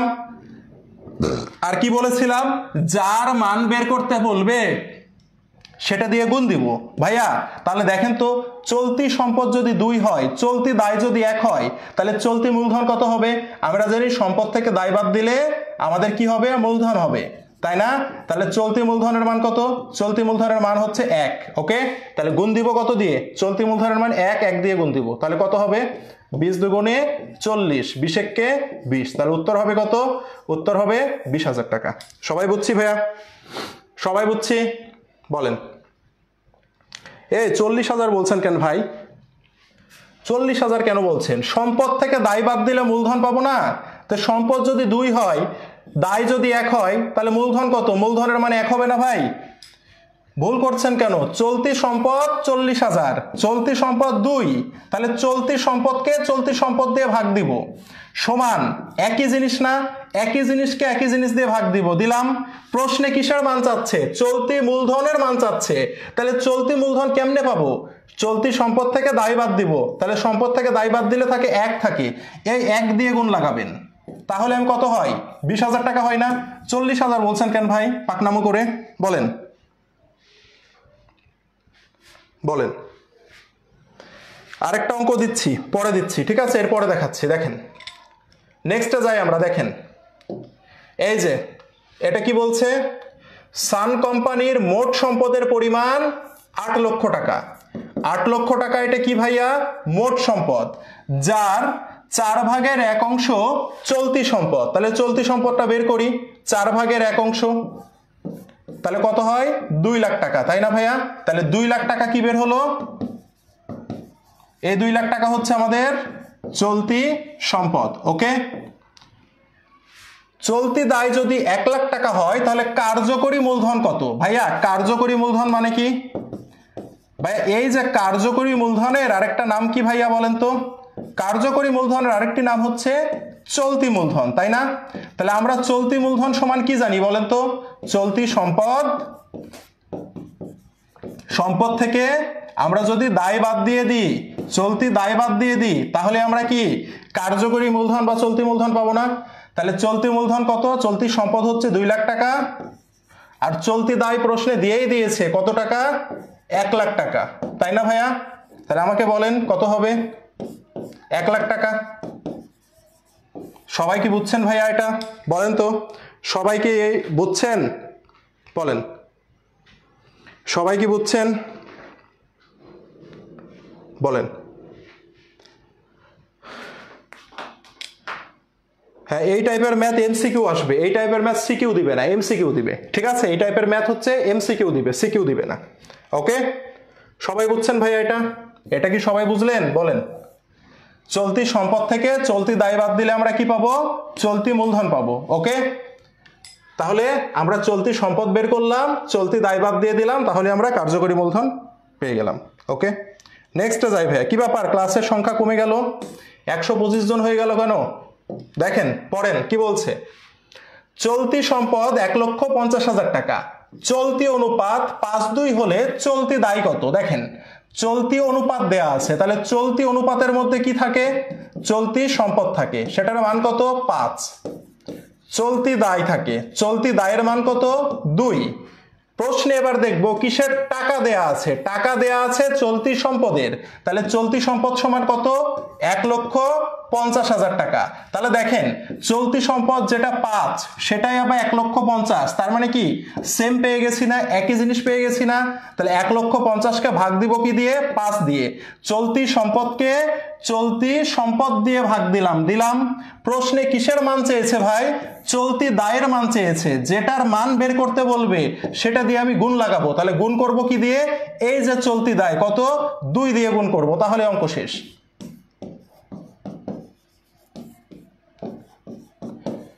ষাট হাজার টাকা। উত্তর কত? ষাট হাজার টাকা। বলেছি না, একই নিয়ম।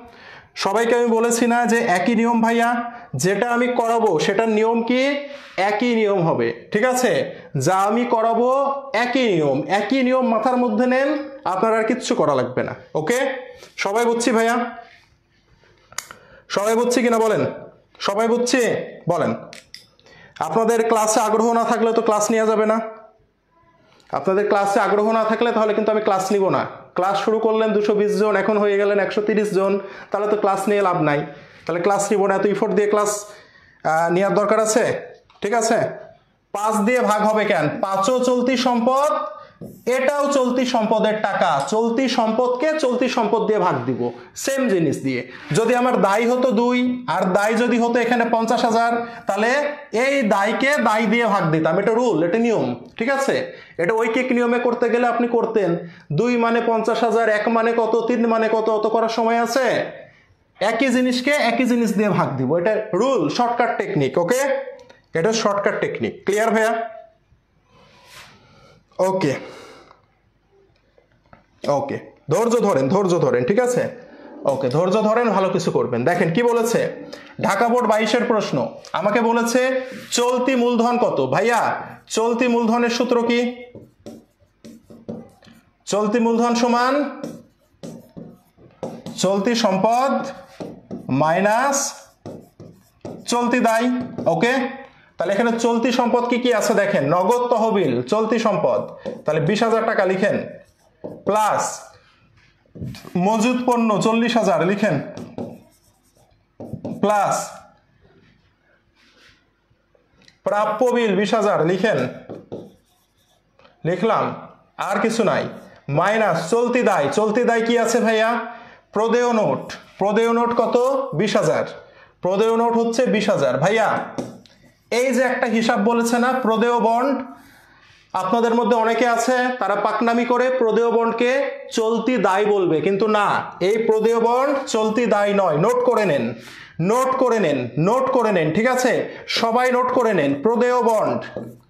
এই প্রদেয় বন্ড প্রদেয় বন্ড মানে হচ্ছে ঋণপত্র। কি পত্র ভাইয়া? ঋণপত্র। আর এই ঋণপত্র বা প্রদেয় বন্ড হচ্ছে দীর্ঘমেয়াদী দায়, ওকে? আপনাদের সিকিউ এর মধ্যে এটা পাবেন, ওকে? এবং এমসিকিউতে এটা পাবেন। মনে থাকবে? মনে থাকবে? বলেন। ক্লিয়ার ভাইয়া? বলেন তো। তাহলে এটা কি মনে থাকবে? প্রদেয় বন্ড বা ঋণপত্র। প্রদেয় বন্ডের আরেকটা নাম কি? ঋণপত্র, যেটি হচ্ছে একটি দীর্ঘমেয়াদী দায়। মনে থাকবে? সবার মনে থাকবে? তাহলে দীর্ঘমেয়াদী দায় কি? চলতি মূলধন নির্ণয়ে আসে। চলতি মূলধন নির্ণয়ে চলতি সম্পদ, চলতি দায় আসে। তাহলে এটি এখানে আসবে না। তাহলে উত্তর কত হবে?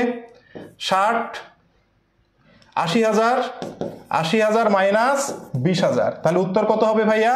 ষাট হাজার। ষাট হাজারই হচ্ছে আমার কি? উত্তর। ক্লিয়ার ভাইয়া সবাই? সবাই ক্লিয়ার ক্লিয়ার কিনা বলেন? আপনাদের এই যে পরীক্ষায় প্রদেয় বন্ড দিয়ে দেখবেন যে অনেক সিকিউতে প্রশ্ন এসেছে। প্রদেয় বন্ডকে আমরা প্রদেয় কথাটা দেখে এটাকে আমরা চলতি দায়ের মধ্যে ঢোকাই দিই। আর চলতি দায়ের মধ্যে যখনই ঢোকাবেন, একটা অঙ্ক মিলবে না, সবগুলোর উত্তর ভুল আসবে। আর সিকিউটা পোড়া ধরা খেয়ে যাবেন। ওকে তাহলে একটা জিনিস মনে রাখবেন ভাইয়া, প্রদেয় বন্ড। কি বললাম ভাইয়া? প্রদেয় বন্ড, ওকে? প্রদেয় বন্ড, খুব ভালো করে মনে রাখবেন, ঠিক আছে? প্রদেয় বন্ডের আরেকটা নাম কি? ঋণপত্র, ঠিক আছে? আর এই প্রদেয় বন্ড বা ঋণপত্র হচ্ছে আমাদের কি? দীর্ঘমেয়াদী দায়। কি দায়? দীর্ঘমেয়াদী দায়, ঠিক আছে? ওকে। এরপরে আমরা তাহলে আমাদের তরিত তারল্য অনুপাত পড়া শেষ। দুই নম্বরে আমরা পড়তে চেয়েছিলাম কি? কার্যকারিতা বা কর্মদক্ষতার অনুপাত। ক্লিয়ার ভাইয়া? এখন আমরা আরেকটা অনুপাত পড়ব। এখন আমরা এখন আমরা কি পড়ব? এখন আমরা পড়ব হচ্ছে, কি পড়ব? বলেন। এখন আমরা পড়ব হচ্ছে কার্যকারিতার অনুপাত। ঠিক আছে? কার্যকারিতা বা কর্মদক্ষতার অনুপাত। ঠিক আছে? আচ্ছা তাহলে দেখেন কার্যকারিতা বা কর্মদক্ষতা অনুপাত চেনার উপায় কি জানেন? সবগুলোর সাথে আবর্তন আবর্তন আবর্তন আবর্তন আবর্তন, এই আবর্তন কথাটা উল্লেখ থাকবে, ঠিক আছে? তাহলে যে অনুপাতের সাথে আবর্তন কথাটা উল্লেখ থাকে, সেটা কি অনুপাত হবে? সেটা কার্যদক্ষতা, কার্যক্ষমতা বা কর্মতৎপরতার অনুপাত হবে, ওকে? ক্লিয়ার ভাইয়া? যে অনুপাতের সাথে আবর্তন কথাটা উল্লেখ থাকে, অনেকে আমরা ভুলে যাই যে ভাইয়া, আবর্তন অনুপাত বা কোনটা? বা কার্যকারিতার অনুপাত কোনটা? কর্মদক্ষতার অনুপাত কোনটা? তাহলে আমরা মনে রাখব, যার সাথে এই আবর্তন কথাটা উল্লেখ থাকবে, সেটাই হচ্ছে কার্যকারিতা বা কর্মদক্ষতার অনুপাত। ক্লিয়ার ভাইয়া? সবাই ক্লিয়ার? ওকে। তাহলে আমরা একে একে পড়া শুরু করি, দেখেন। মজুদ আবর্তন অনুপাত। প্রথমে আমাকে পড়তে হবে মজুদ আবর্তন অনুপাত। আর এই আবর্তন অনুপাতগুলোতে যে মান আসবে, মানগুলো বার। এই বারে বের হবে, ঠিক আছে? এই যে আট বার, দুই বার, পাঁচ বার, ওকে? এইভাবে মানগুলো বের হবে, ঠিক আছে? দেখেন। তাহলে দেখি। মজুদ আবর্তন অনুপাতের সূত্র কি? বিকৃত পণ্যের ব্যয় ডিভাইডেড বাই গড় মজুদ। এটির আদর্শ মান কত? আট বার। খুবই ভালো করে মনে রাখতে হবে। মজুদ আবর্তন অনুপাতের আদর্শ মান কত? আট বার, ওকে? এখন ভাইয়া দেখেন, সবই তো বুঝলাম ভাইয়া, মজুদ আবর্তন অনুপাতের সূত্র হচ্ছে বিকৃত পণ্যের ব্যয়, গড় মজুদ। ভাইয়া, বিকৃত পণ্যের ব্যয় কীভাবে বের করব? বিকৃত পণ্যের ব্যয় বের করার দুটি সূত্র আছে। কয়টি সূত্র? সূত্র দুটি আছে। নাম্বার ওয়ান সূত্র, সহজ সূত্র, বিক্রয় মাইনাস মোট লাভ, ওকে? বিক্রয় মাইনাস মোট লাভ সমান বিক্রিত পণ্যের ব্যয়। প্রথমে দেখব এই সূত্রটা আছে কিনা। যদি এই সূত্র থাকে প্রশ্নে, তাহলে এই সূত্র ইউজ করব। যদি দেখি ওই সূত্র নাই, তাহলে কি করব? তাহলে আরেকটা সূত্র আছে, সেটা প্রারম্ভিক মজুদ প্লাস নিট ক্রয় প্লাস ক্রয় সংক্রান্ত খরচ মাইনাস সমাপনী মজুদ ক্লিয়ার ভাইয়া? তাহলে প্রথমে দেখব এই ছোট্ট সূত্রটা আছে কিনা। বিক্রয় থেকে মোট লাভকে মাইনাস করব। করলে যেটা থাকবে সেটাই হচ্ছে কি? বিকৃত পণ্যের ব্যয়। ওকে আচ্ছা। আর যদি দেখি আমি যে ভাইয়া এই সূত্রটা নাই, তাহলে কি করব? প্রারম্ভিক মজুদ প্লাস নিট ক্রয় প্লাস ক্রয় সংক্রান্ত খরচ মাইনাস সমাপনী মজুদ। ওকে একটা স্ক্রিনশট নিয়ে নেন, ঠিক আছে? একটা স্ক্রিনশট নিয়ে নেন সবাই এটার। একটা সবাই এটার একটা স্ক্রিনশট নিয়ে নেন ওকে হ্যাঁ এক নাম্বারটা সহজ আছে। রাইট ওকে তাহলে স্ক্রিনশট নেওয়া হয়েছে ভাইয়া, সবার? আমার মনে হয় সবাই স্ক্রিনশট নিয়ে নিয়েছি। এখন দেখেন। ভাইয়া, তাহলে বিকৃত পণ্যের ব্যয় গেল। গড় মজুদ কীভাবে নির্ণয় করব ভাইয়া? গড় মজুদ নির্ণয়ের সূত্র হচ্ছে প্রারম্ভিক মজুদ প্লাস সমাপনী মজুদ ডিভাইডেড বাই দুই। ওকে মনে থাকবে ভাইয়া? মনে থাকবে? গড় মজুদের সূত্র কি ভাইয়া? গড় মজুদের সূত্র হচ্ছে প্রারম্ভিক মজুদ প্লাস সমাপনী মজুদ ডিভাইডেড বাই দুই। ক্লিয়ার ভাইয়া? চারটা নিচ্ছি screenshot done okay thank you ভাইয়া। এই যে যে ছেলেগুলো ক্লাস করছে, এরা খুবই মনোযোগী, এরা ভালো করবে। আমি বললাম এরা ভালো করবে ওকে ওকে ঠিক আছে? তাহলে আমরা ইজিলি আমরা প্রশ্নের উত্তর করতে পারব। এখন দেখি আমরা কেমনে উত্তর করতে পারি। একটি প্র্যাকটিস টেস্ট দেওয়া হয়েছে, যেটা কুমিল্লা বোর্ড একুশ সালে আসছে। নিট বিক্রয় বিয়াল্লিশ হাজার, মোট মুনাফা বিক্রয়ের বিশ পার্সেন্ট প্রারম্ভিক মজুদ চার হাজার, সমাপনী মজুদ ছয় হাজার টাকা হলে মজুদ আবর্তন কত? এই প্রশ্নটা আমরা এখন সলভ করব। ওকে ভাইয়া? এই প্রশ্নটা আমরা এখন সলভ করব। তাহলে এই প্রশ্নটা সলভ করি। আমাদেরকে বলেছে মজুদ আবর্তন কত? তাহলে মজুদ আবর্তনের সূত্র কি ভাইয়া? মজুদ আবর্তন সমান, আমরা জানি, ওপরে থাকবে কি? বিকৃত পণ্যের ব্যয়। নিচে থাকবে গড় মজুদ, ওকে? এখন কথা হচ্ছে ভাইয়া বিক্রিত পণ্যের ব্যয় বের করার দুটো সূত্র, বিক্রয়, মোট মুনাফা দেয়া আছে। বিক্রয় কত? বিক্রয় হচ্ছে বিয়াল্লিশ হাজার টাকা। এটার বিশ পার্সেন্ট হচ্ছে মোট মুনাফা। তাহলে এটার বিয়াল বিশ পার্সেন্ট করি আমরা। তাহলে বিশ পার্সেন্ট কত? এক শূন্য কাটা এক শূন্য কাটা। তাহলে কত হবে? বিয়াল্লিশ দুগুণে চুরাশি, তার মানে আট হাজার চারশো। মোট মুনাফা কত বের হলো? আট হাজার চারশো বের হলো। তাই না ভাইয়া? তাহলে আট হাজার চারশো যদি বের হয়, তাহলে আমরা অঙ্কটা করে ফেলি। এখানে থাকবে ছয়শো নয়, তিন তিন। তেত্রিশ হাজার ছয়শো। এই তেত্রিশ হাজার ছয়শো বের হলো আমার কি ভাইয়া? বিকৃত পণ্যের ব্যয়। তেত্রিশ হাজার ছয়শো বের হলো, ঠিক আছে? এটা হচ্ছে বিক্রয়ের টাকা। আর এই যে আট হাজার চারশো হচ্ছে মোট মুনাফা। কীভাবে পেলাম? এই যে দেখেন, বিক্রয় বিয়াল্লিশ হাজার আর মোট মুনাফা বিক্রয়ের বিশ পার্সেন্ট করলাম। বিশ পার্সেন্ট করলে আট হাজার চারশো টাকা হয়, ওকে? এটা বের হলো। এবার কি করতে বলেছে ভাইয়া? নিচে আছে গড় মজুদ ভাইয়া, গড় মজুদ কীভাবে বের করব? প্রারম্ভিক মজুদ প্লাস সমাপনী মজুদ ভাগ দুই। তাহলে প্রারম্ভিক মজুদ আছে চার হাজার, সমাপনী মজুদ আছে ছয় হাজার, ভাগ হচ্ছে দুই। তাহলে কত ভাইয়া? ছয় আর চার দশ হাজার, দশ হাজারকে দুই দিয়ে ভাগ দিলে হবে পাঁচ হাজার, ওকে? তাহলে এখানে কত হবে ভাইয়া? পাঁচ হাজার হবে। ওকে? তাহলে আমরা কি করব এখন? এই দুই শূন্য কাটেন, দুই শূন্য কাটেন, কাটলে থাকে কত? তিন তিন, ছয়, ভাগ পঞ্চাশ, করেন তো কত হয়? পঞ্চাশকে তিন তিন, ছয় দিয়ে দিলে কত হয়? ওই যে আসবে পাঁচ, ছয়, তিরিশ মানে ছয় দশমিক সামথিং আসবে। ঠিক আছে? ছয় দশমিক সামথিং আসবে উত্তর, ওকে? বলেন। হ্যাঁ ছয় দশমিক সামথিং আসবে, রাইট। কি হয়েছে? মেয়েরা ক্লাস করছে, স্যার। মেয়েরাও তো ক্লাস করছে। ও আচ্ছা মেয়েরাও ক্লাসে আছে নাকি? আগে বুঝতে পারিনি। সরি সরি মেয়েরাও যে ক্লাসে আছে, আমি দেখতে পাইনি আসলেই। সরি আচ্ছা। মেয়েরাও ক্লাসে আছে না? আচ্ছা সরি তাহলে কি বলতে হবে? ভাই ও বোনেরা, না? তাহলে বলতে হবে ভাই ও বোনেরা। তাই বলতে হবে? আচ্ছা ভুলে যাই খালি। আচ্ছা। মেয়েরা ক্লাসে আছে, মেয়েরা তো সাড়া দেয় না। তাহলে বুঝব কেমনে যে মেয়েরা ক্লাসে আছে? আচ্ছা আচ্ছা। শুধু মজুদ দেয়া থাকে, তাহলে কি দুই দিয়ে ভাগ হবে? এই তো মাহমুদা আক্তার, নিপু একটা সুন্দর প্রশ্ন করেছে।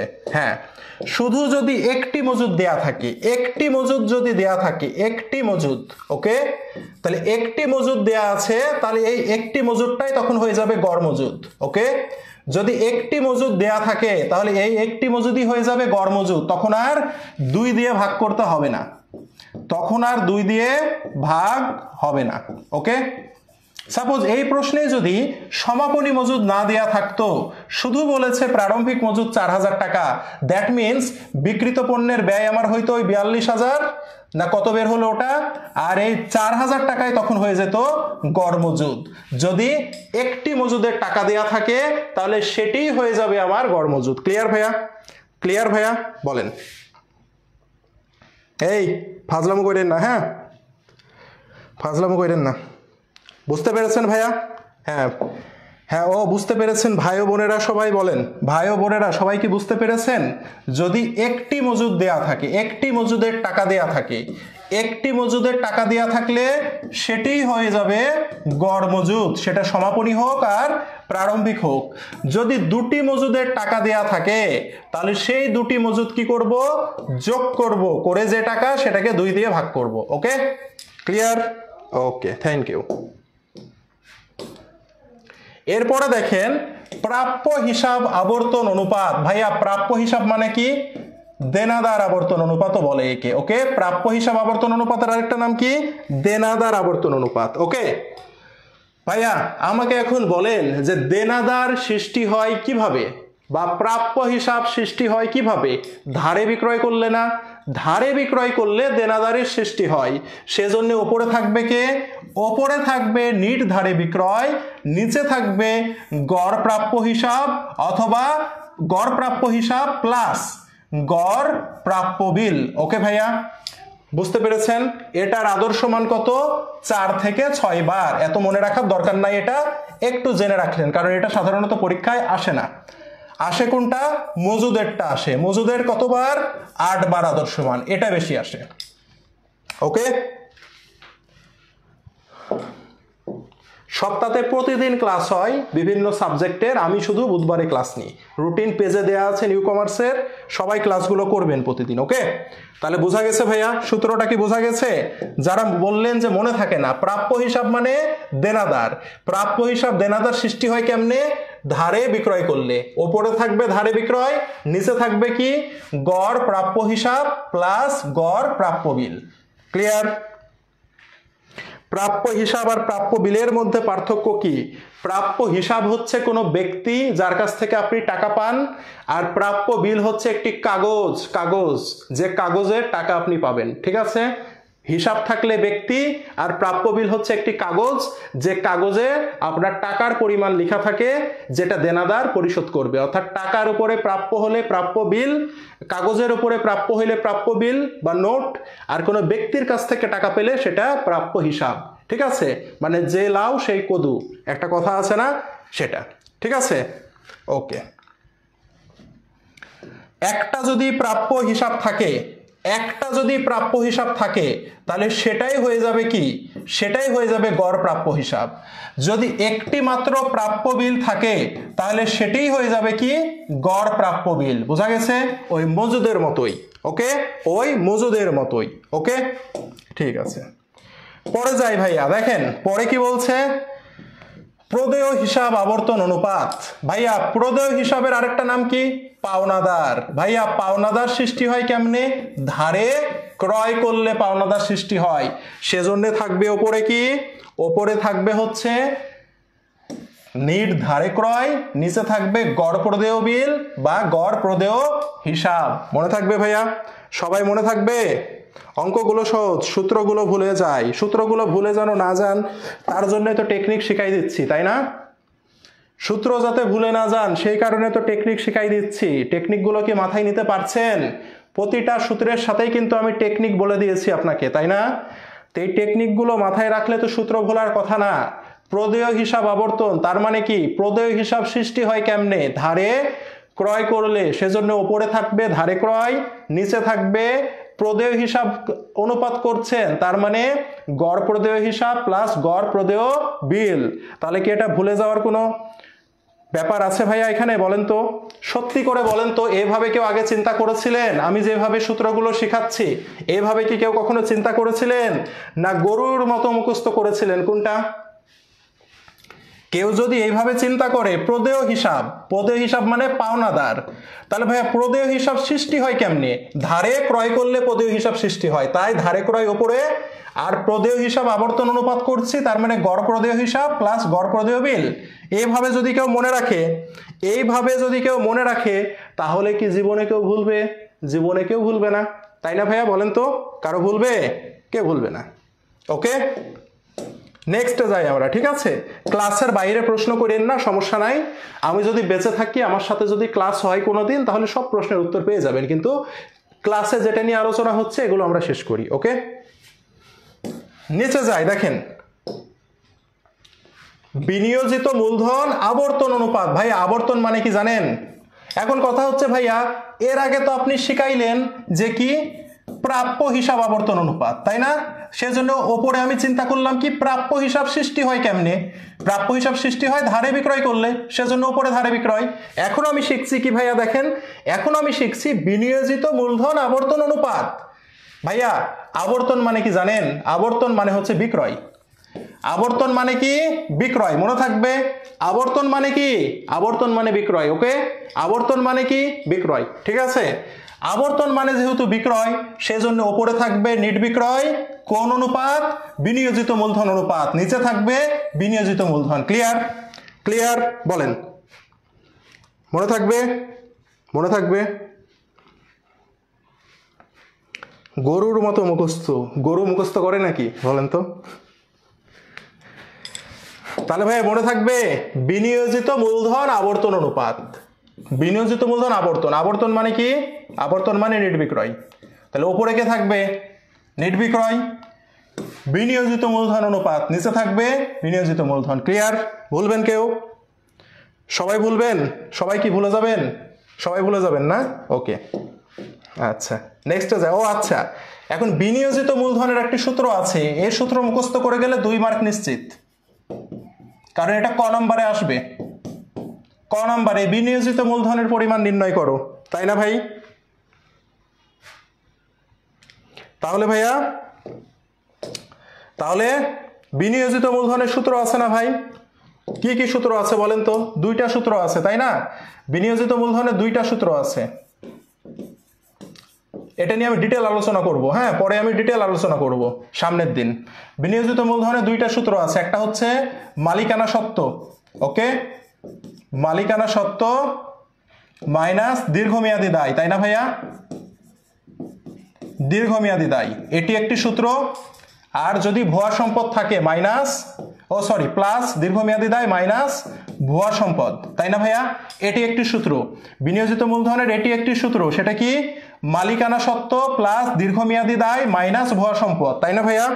এটি একটি সূত্র আছে।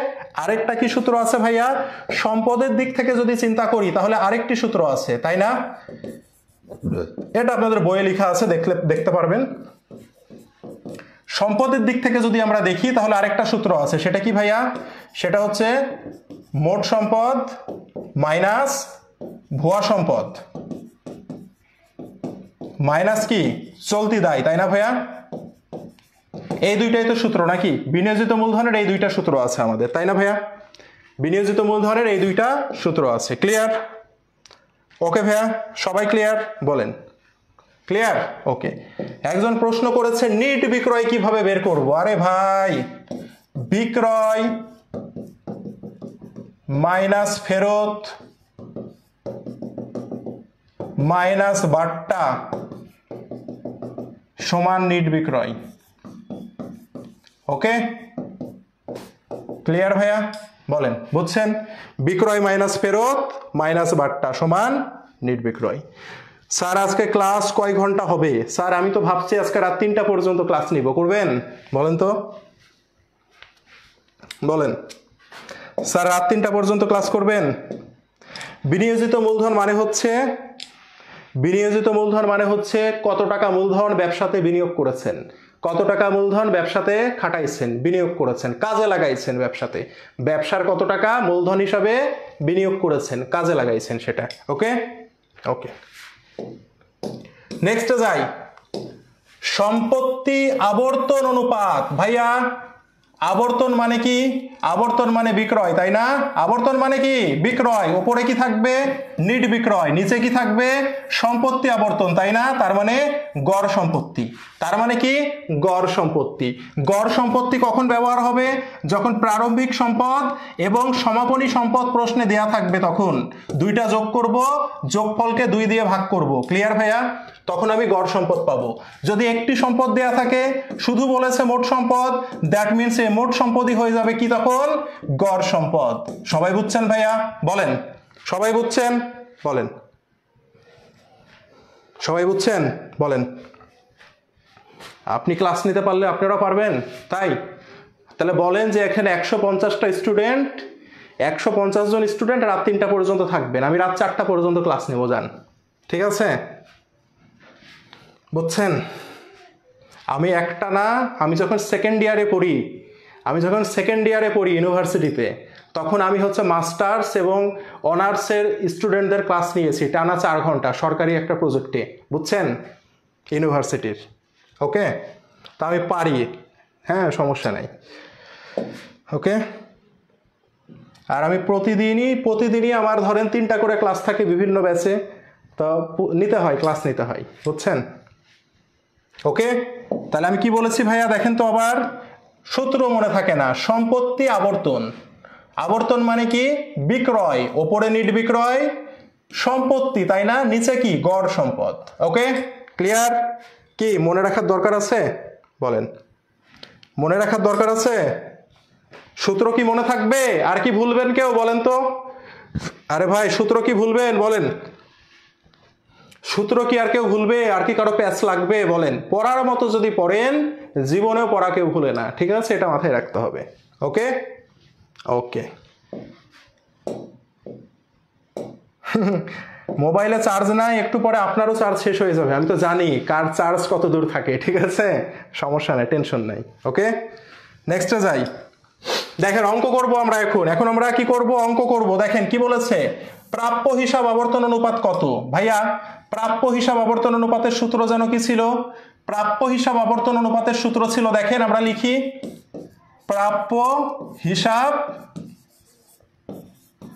আবর্তন। ভাই, প্রাপ্য হিসাব সৃষ্টি হয় কেমনে? ধারে বিক্রয় করলে। আর নিচে কি থাকবে? গড় প্রাপ্য হিসাব প্লাস গড় প্রাপ্য বিল। ওকে?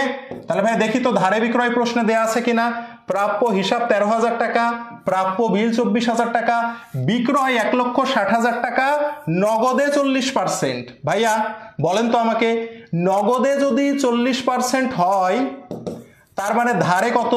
এই প্রশ্নে তো আমার ধারে বিক্রয় লাগবে। নগদে চল্লিশ পার্সেন্ট হলে ধারে কত হয়? ধারে ষাট পার্সেন্ট না, কারণ টোটাল তো আমার একশো পার্সেন্টই হবে। তাহলে এক লক্ষ ষাট হাজার টাকার কত করব আমি? ষাট পার্সেন্ট করব। তাহলে কত হয়? ছয়, ষোলো, ছিয়ানব্বই। দ্যাট মিনস ছিয়ানব্বই হাজার টাকা। ছিয়ানব্বই হাজার টাকা কি বের হলো? ধারে বিক্রয় বের হলো। ওকে গড় প্রাপ্য হিসাব। গড় প্রাপ্য হিসাবের সূত্র কি? প্রারম্ভিক প্রাপ্য প্লাস সমাপনী প্রাপ্য ডিভাইডেড বাই দুই। তা আমরা দেখতে পাচ্ছি এখানে একটি মাত্র প্রাপ্য হিসাব দেয়া আছে। আমরা কি শিখেছি? যদি একটি প্রাপ্য হিসাব দেয়া থাকে, তাহলে সেটি হয়ে যাবে গড় প্রাপ্য হিসাব। তার মানে লিখে দিলাম তেরো হাজার। গড় প্রাপ্য বিল। ভাইয়া, গড় প্রাপ্য বিল কি? প্রারম্ভিক প্রাপ্য বিল প্লাস সমাপনী প্রাপ্য বিল ভাগ দুই। প্রশ্নে দেখতে পাচ্ছি একটি মাত্র প্রাপ্য বিল দেয়া আছে। দ্যাট মিনস এটি হচ্ছে আমার গড় প্রাপ্য বিল প্লাস চব্বিশ হাজার ওকে তার মানে আমি কি করব? ছিয়ানব্বই হাজার ভাগ সাঁত্রিশ হাজার, যা হবে তাই উত্তর। তিন শূন্য কাটেন। এই যে সাঁত্রিশ ভাগ ছিয়ানব্বই করেন। সাঁত্রিশ দুগুণে কত? সাঁত্রিশ দুগুণে চুয়াত্তর, তাই না?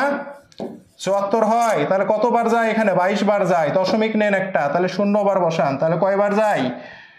পাঁচ, ছয়, সাত, তিন সাতটা একুশ, বেশি হয়ে যায় ছয় বার যায়। ওই টু পয়েন্ট সিক্স বা সামথিং হবে, তাই না ভাইয়া? হুম, দুই পয়েন্ট ছয় নয় বার, তাই না? দুই পয়েন্ট ছয় নয় বার মানে টু পয়েন্ট সিক্স বার। ওকে? বুঝছেন ভাইয়া? বলেন, সবাই বুঝছেন? এই সবাই বুঝছেন ভাইয়া? বলেন, এখন থেকে আর ভুলবো না। ভেরি গুড থ্যাংক ইউ সবাই বুঝছেন? তাহলে উত্তর কত হবে? টু পয়েন্ট সিক্স নাইন বা ফাইভ নাইন বার ওকে ওকে নেক্সটে যাই, কি বলছে? ও, এটাই তো করলাম, নাকি? এবার দেখেন, কি বলছে? দেখেন, প্রশ্নে বলছে, রাজশাহী বোর্ড একুশের প্রশ্ন, কি বলছে? শরীফ লিমিটেডের প্রারম্ভিক মজুদ এত, সমাপনী মজুদ এত, পণ্য ক্রয় এত, মোট লাভ এত হলে বিকৃত পণ্যের ব্যয় কত? ভাইয়া বিকৃত পণ্যের ব্যয়ের প্রথমে যে সহজ সূত্র, সেটা কি? সহজ সূত্র হচ্ছে বিক্রয় মাইনাস মোট লাভ। ভাইয়া, দেখেন তো, এই সূত্রটা কি আমরা ফেলতে পারব? প্রশ্নে কি বিক্রয়ের টাকা দেয়া আছে? দেখি তো আমরা। প্রশ্নে কি বিক্রয়ের টাকা দেয়া আছে? প্রশ্নে বিক্রয়ের টাকা দেয়া নাই। দ্যাট মিনস এই সূত্র আমি ব্যবহার করতে পারব না। তাহলে কি করতে হবে? বড় যে সূত্রটা আছে, সেই সূত্র আমাকে এখন ব্যবহার করতে হবে। বড় সূত্রটা কি ছিল? প্রারম্ভিক মজুদ কত? চার লক্ষ পঞ্চাশ প্লাস নিট ক্রয় কত আছে ভাইয়া? এগারো লাখ টাকা। তাই তো নাকি? তাহলে কত হইল? এগারো চারে পনেরো লক্ষ পঞ্চাশ হাজার টাকা। মাইনাস সমাপনী মজুদ আছে প্রশ্নে সমাপনী মজুদ, তিন লক্ষ পঞ্চাশ হাজার টাকা। তাহলে কত হবে ভাইয়া? বারো লক্ষ টাকা।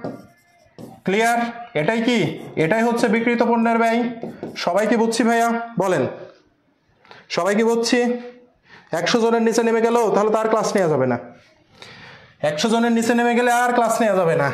ব্যাটারি শেষ আপনাদের। আপনাদের ব্যাটারি শেষ? এত দ্রুত ব্যাটারি শেষ হলে হবে? বলেন। বলেন। এত দ্রুত কি ব্যাটারি শেষ হইলে হবে? বলেন। মজুদ আবর্তন কত? কি বলেছে? রাজশাহী বোর্ড? মজুদ আবর্তন কত? একই প্রশ্ন। একই প্রশ্ন দিয়ে বলেছে মজুদ আবর্তন কত? তাহলে মজুদ আবর্তনের সূত্র কি?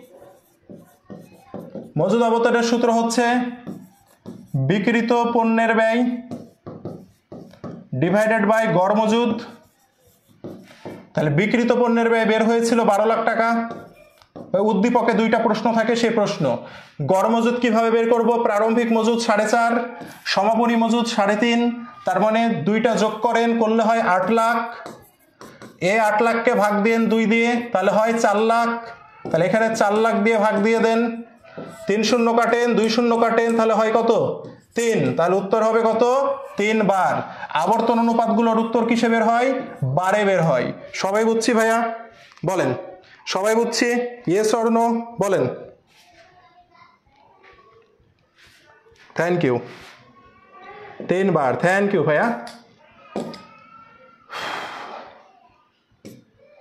ওকে তাহলে ভাইয়া এই পর্যন্ত আজকে আমাদের ক্লাস ঠিক আছে? আজকের ক্লাসটা আমাদের এই পর্যন্তই ঠিক আছে? আজকের ক্লাসটা আমাদের এই পর্যন্তই। তাহলে আমরা আজকে দুইটা অনুপাত পড়েছি, তাই না ভাইয়া? আজকে আমরা কয়টা অনুপাত পড়েছি? দুইটা অনুপাত। নাম্বার ওয়ান আমরা পড়লাম তারল্য অনুপাত। নাম্বার দুই আমরা পড়লাম কার্যকারিতার অনুপাত ওকে এই দুইটা অনুপাত আমাদের ফিনিশ সামনে আমরা অনুপাতের আরেকটি ক্লাস করব, সেখানে আমরা শিখব আরও গুরুত্বপূর্ণ অনুপাত। সেটা হচ্ছে কি? উপার্জন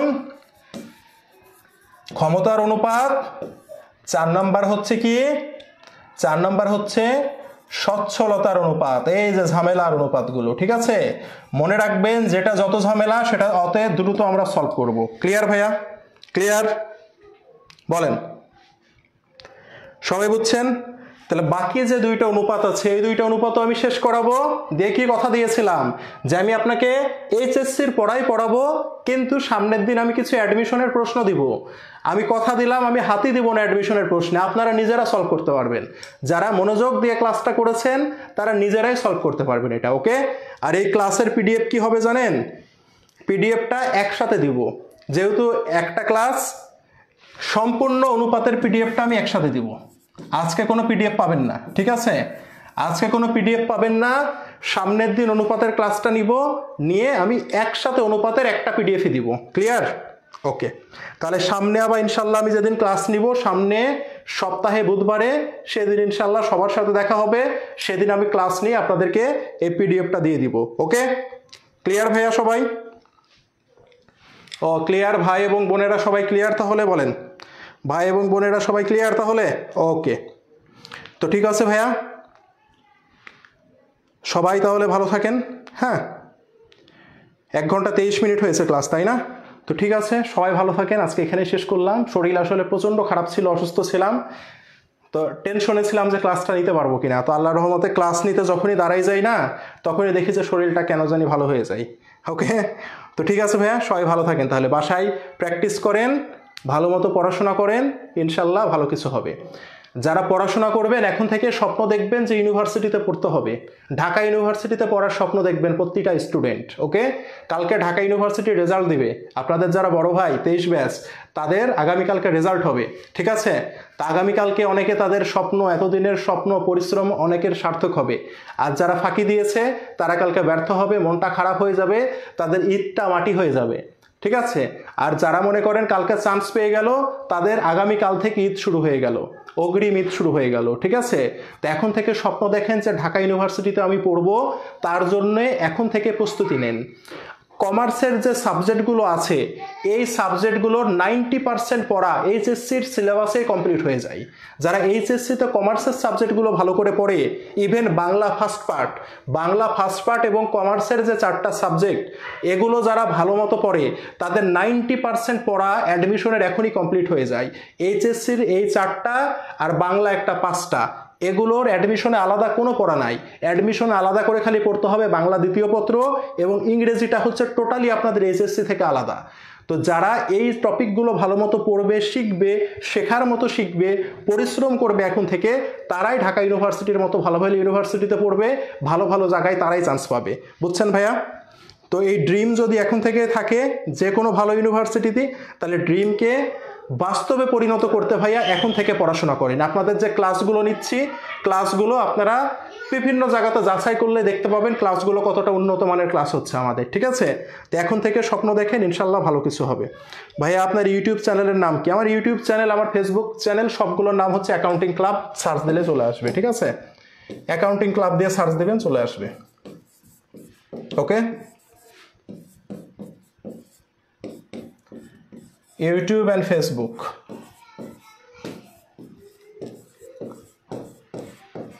Okay, Facebook page. ঠিক আছে ভাইয়া? তো ঠিক আছে, সবাই ভালো থাকেন তাহলে। তো সবাই ভালো থাকেন তাহলে ভাইয়া, আজকে এখানেই শেষ করলাম। আল্লাহ হাফেজ। Okay, thank you.